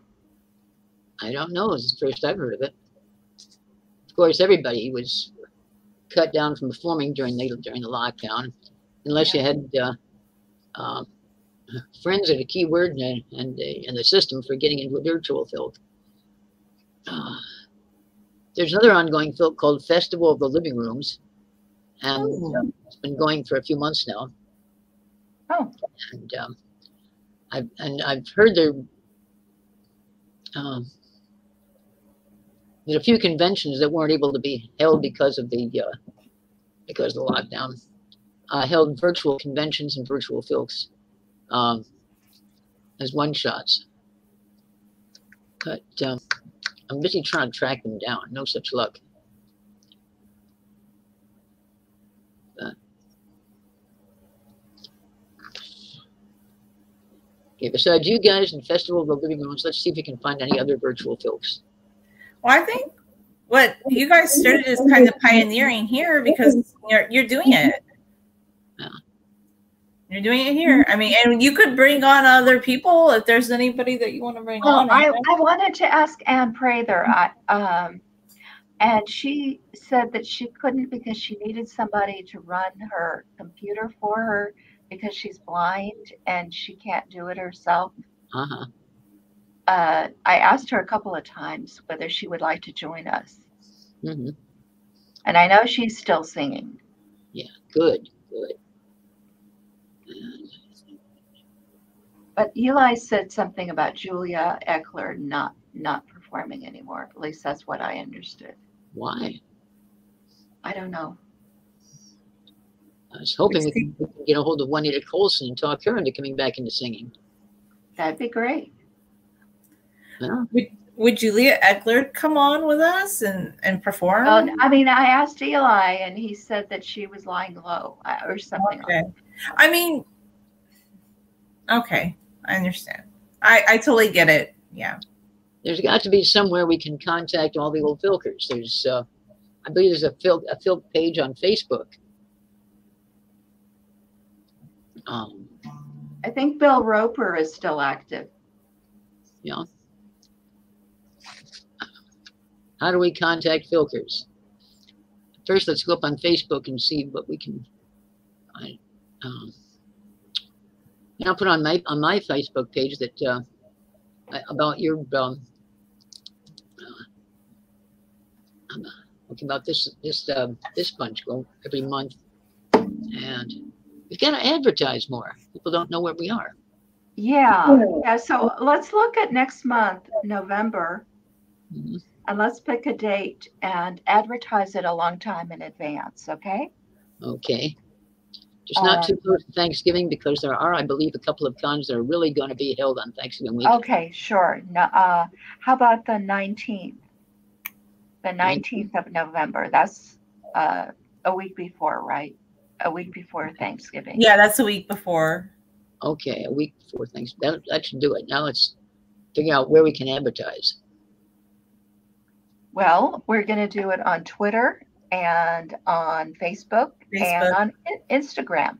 But you know what's really good is if you want to share it too, Leslie, and then if you know anybody who wants to share it, I'm trying to think other uh, filk music uh, bulletin boards, uh, blogs, whatever. I know there's a there is a folk music page on Facebook, and I've been able to find it. There's something called Georgia Filk, G-A Filk. Get filk, yeah. Oh, they're an old bunch. Yes, get a hold of them too. Okay, I will. Okay, so um, we agree on November the 19th, right? Everybody agrees? yeah, I. I think that's a great time. Perfect. Okay, so I'm going to write it down. I'm going to put it in my calendar. Uh, Julia, put it in yours too. Okay, I'll add it. Let me do that right now. Uh, Leslie, you want to write it down so you'll know ahead of time? Very nice. I haven't got my I haven't got my calendar here. you wouldn't believe how much these songbooks take up. Yeah. The 19th. Okay, that I'll remember. Don't worry. Okay.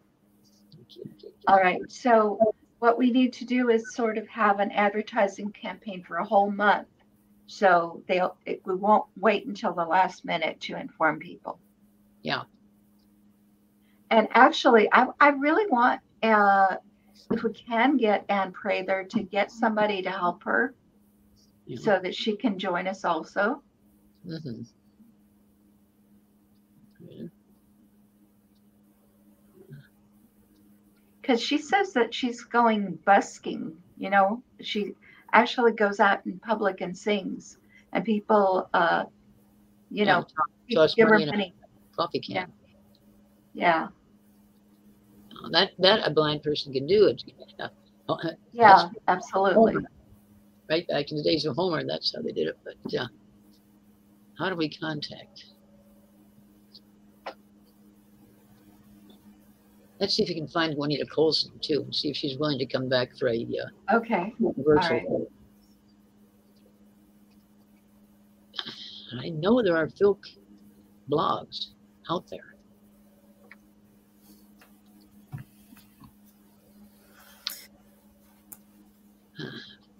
Where? Kitty, kitty, Oh, where's the kitty? right here. Show us the kitty. I want to see the kitty. Oh, oh yeah, hi kitty. Yeah. Hi. You're so pretty. I love kitties. Oh, beautiful kitty. Oh, silver dust. Aw, My, own breed. love it. Now, my long line of smart kitties now has a breed name. Silver Aw. dust Hey, tail. Either come out here in front of the camera or get your, get your tail out. yeah. Meow. Meow meow. Hmm. Songs of sci-fi politics. Well,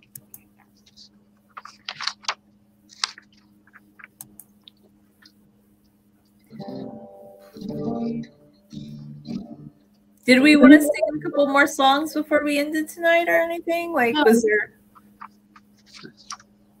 name one any one of my songs whose name begins with uh, any letter after M. Any letter after M. Okay. M. Any letter between M and Z. Uh,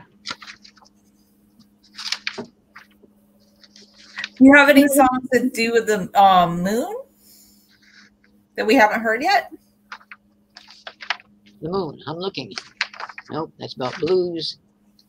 This is about child ballads. This is about. moon. Ah. Oh, future politics, history. Hmm. Oh, that's that's a dirge for Paul Zimmer. Paul Zimmer, you said? Uh, I have a dirge for Paul Zimmer and the Master of Greyhaven. That's what's that about? Well,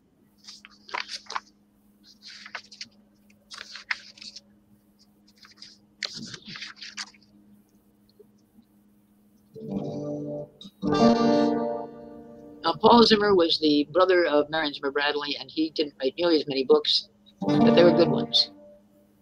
And he also ran the household called Greyhaven, which was the artistic center for fandom in Berkeley. Uh, all the years I was there. Wow.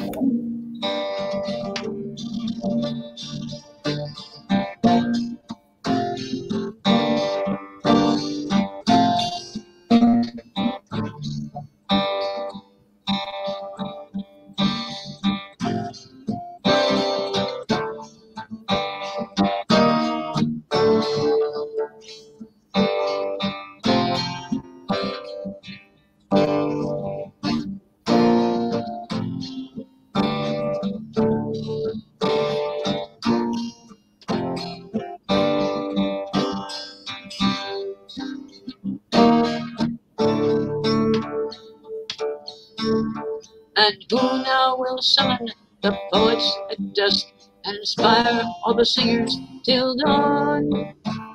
Who shall be master of rebels now that the master of Greyhaven's gone? Weep, all ye winds of the valley and hills, and mourn, salt winds of the bay.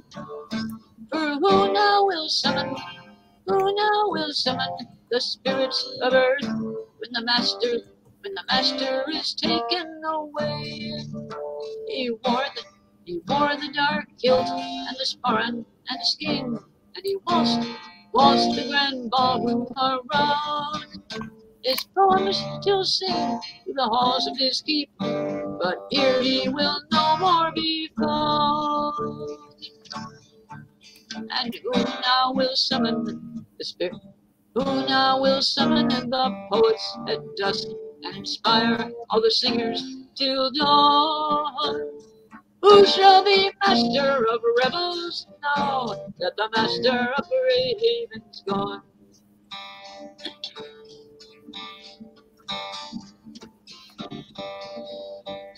First among those who rekindled the flame and called up the new Middle Age. For many long years he fought first in the wars with his lady, his squire, and his page. He latterly summoned the bards of the land at New Year's and St. Charlie's Eve, St. Charlie's Eve. All knights of the list of the land of the mist now will have reason to grieve. For who now will summon the poets at dusk and inspire all the singers till dawn? Who shall be master of rebels now that the rebel that the master of Greyhaven's gone? The house is larger within than without, shall ring to his footsteps no more.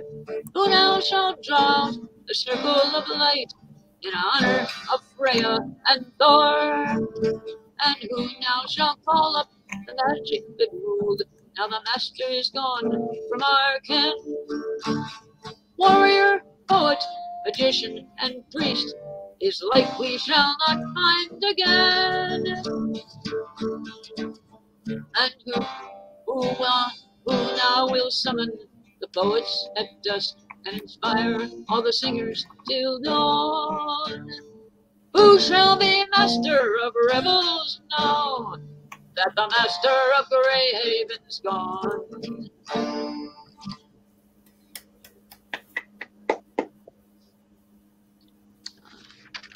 many old fans being forgotten in the current the current hassle.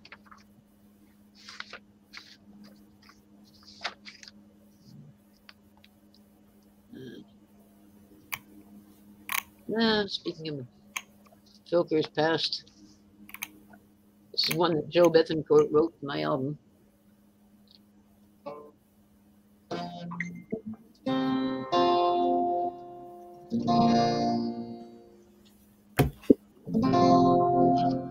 I like to punch holes in pieces of paper at a thousand yards or so. Me and my 30 six have a good time. That's where I like to go. I don't care for fishing or drinking at all or camping far out in the sticks. I just like to punch holes in pieces of paper. Me and my 30 odd six. Oh, I'm mm. not a redneck. I wear my hair long. And yes, I've got a college degree. I like to read books and I don't beat my children. I protect the ecology. No, I'm not a right wing militia fanatic. I just like to get my kicks. Punching small holes in pieces of paper. Me and my 30 odd six.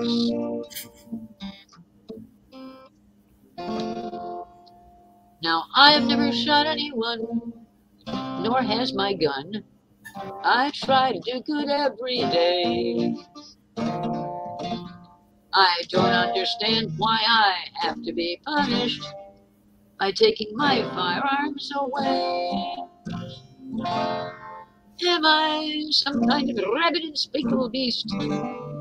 Cause my favorite relaxing trick is punching small holes in pieces of paper.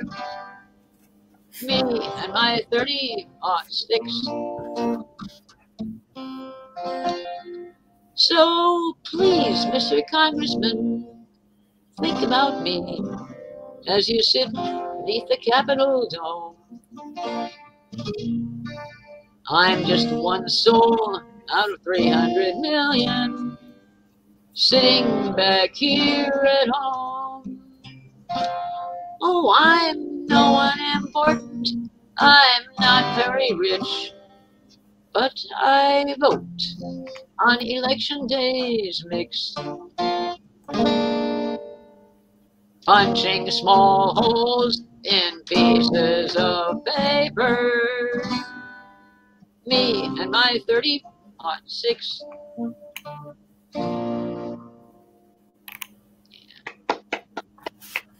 I like that. Oh, he had he had good ideas for songs, did Joe? Yeah. Hmm. You gotta make more folk singers. Running out of them.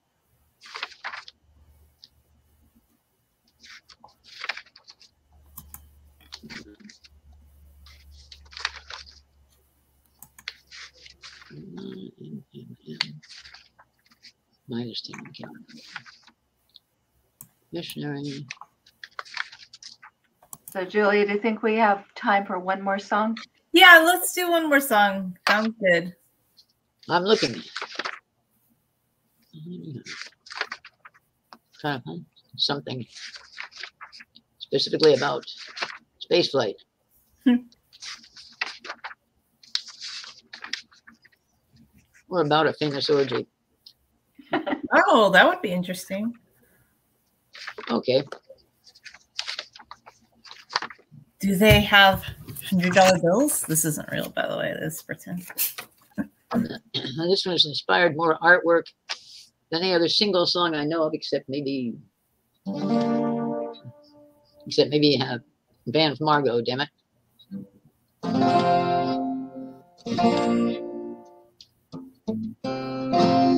This is another lackey fish. I've got a unicorn's horn in the middle of my forehead and the antlers of a stag on either side. I've got pointed ears that are something like a deer's or something like an elf's, I can't decide. I've got long green hair to match my flowing emerald mane that turns red with the oak trees every fall. With my goat-like eyes, it should come as no surprise that I've got feathered eyebrows, and that isn't all.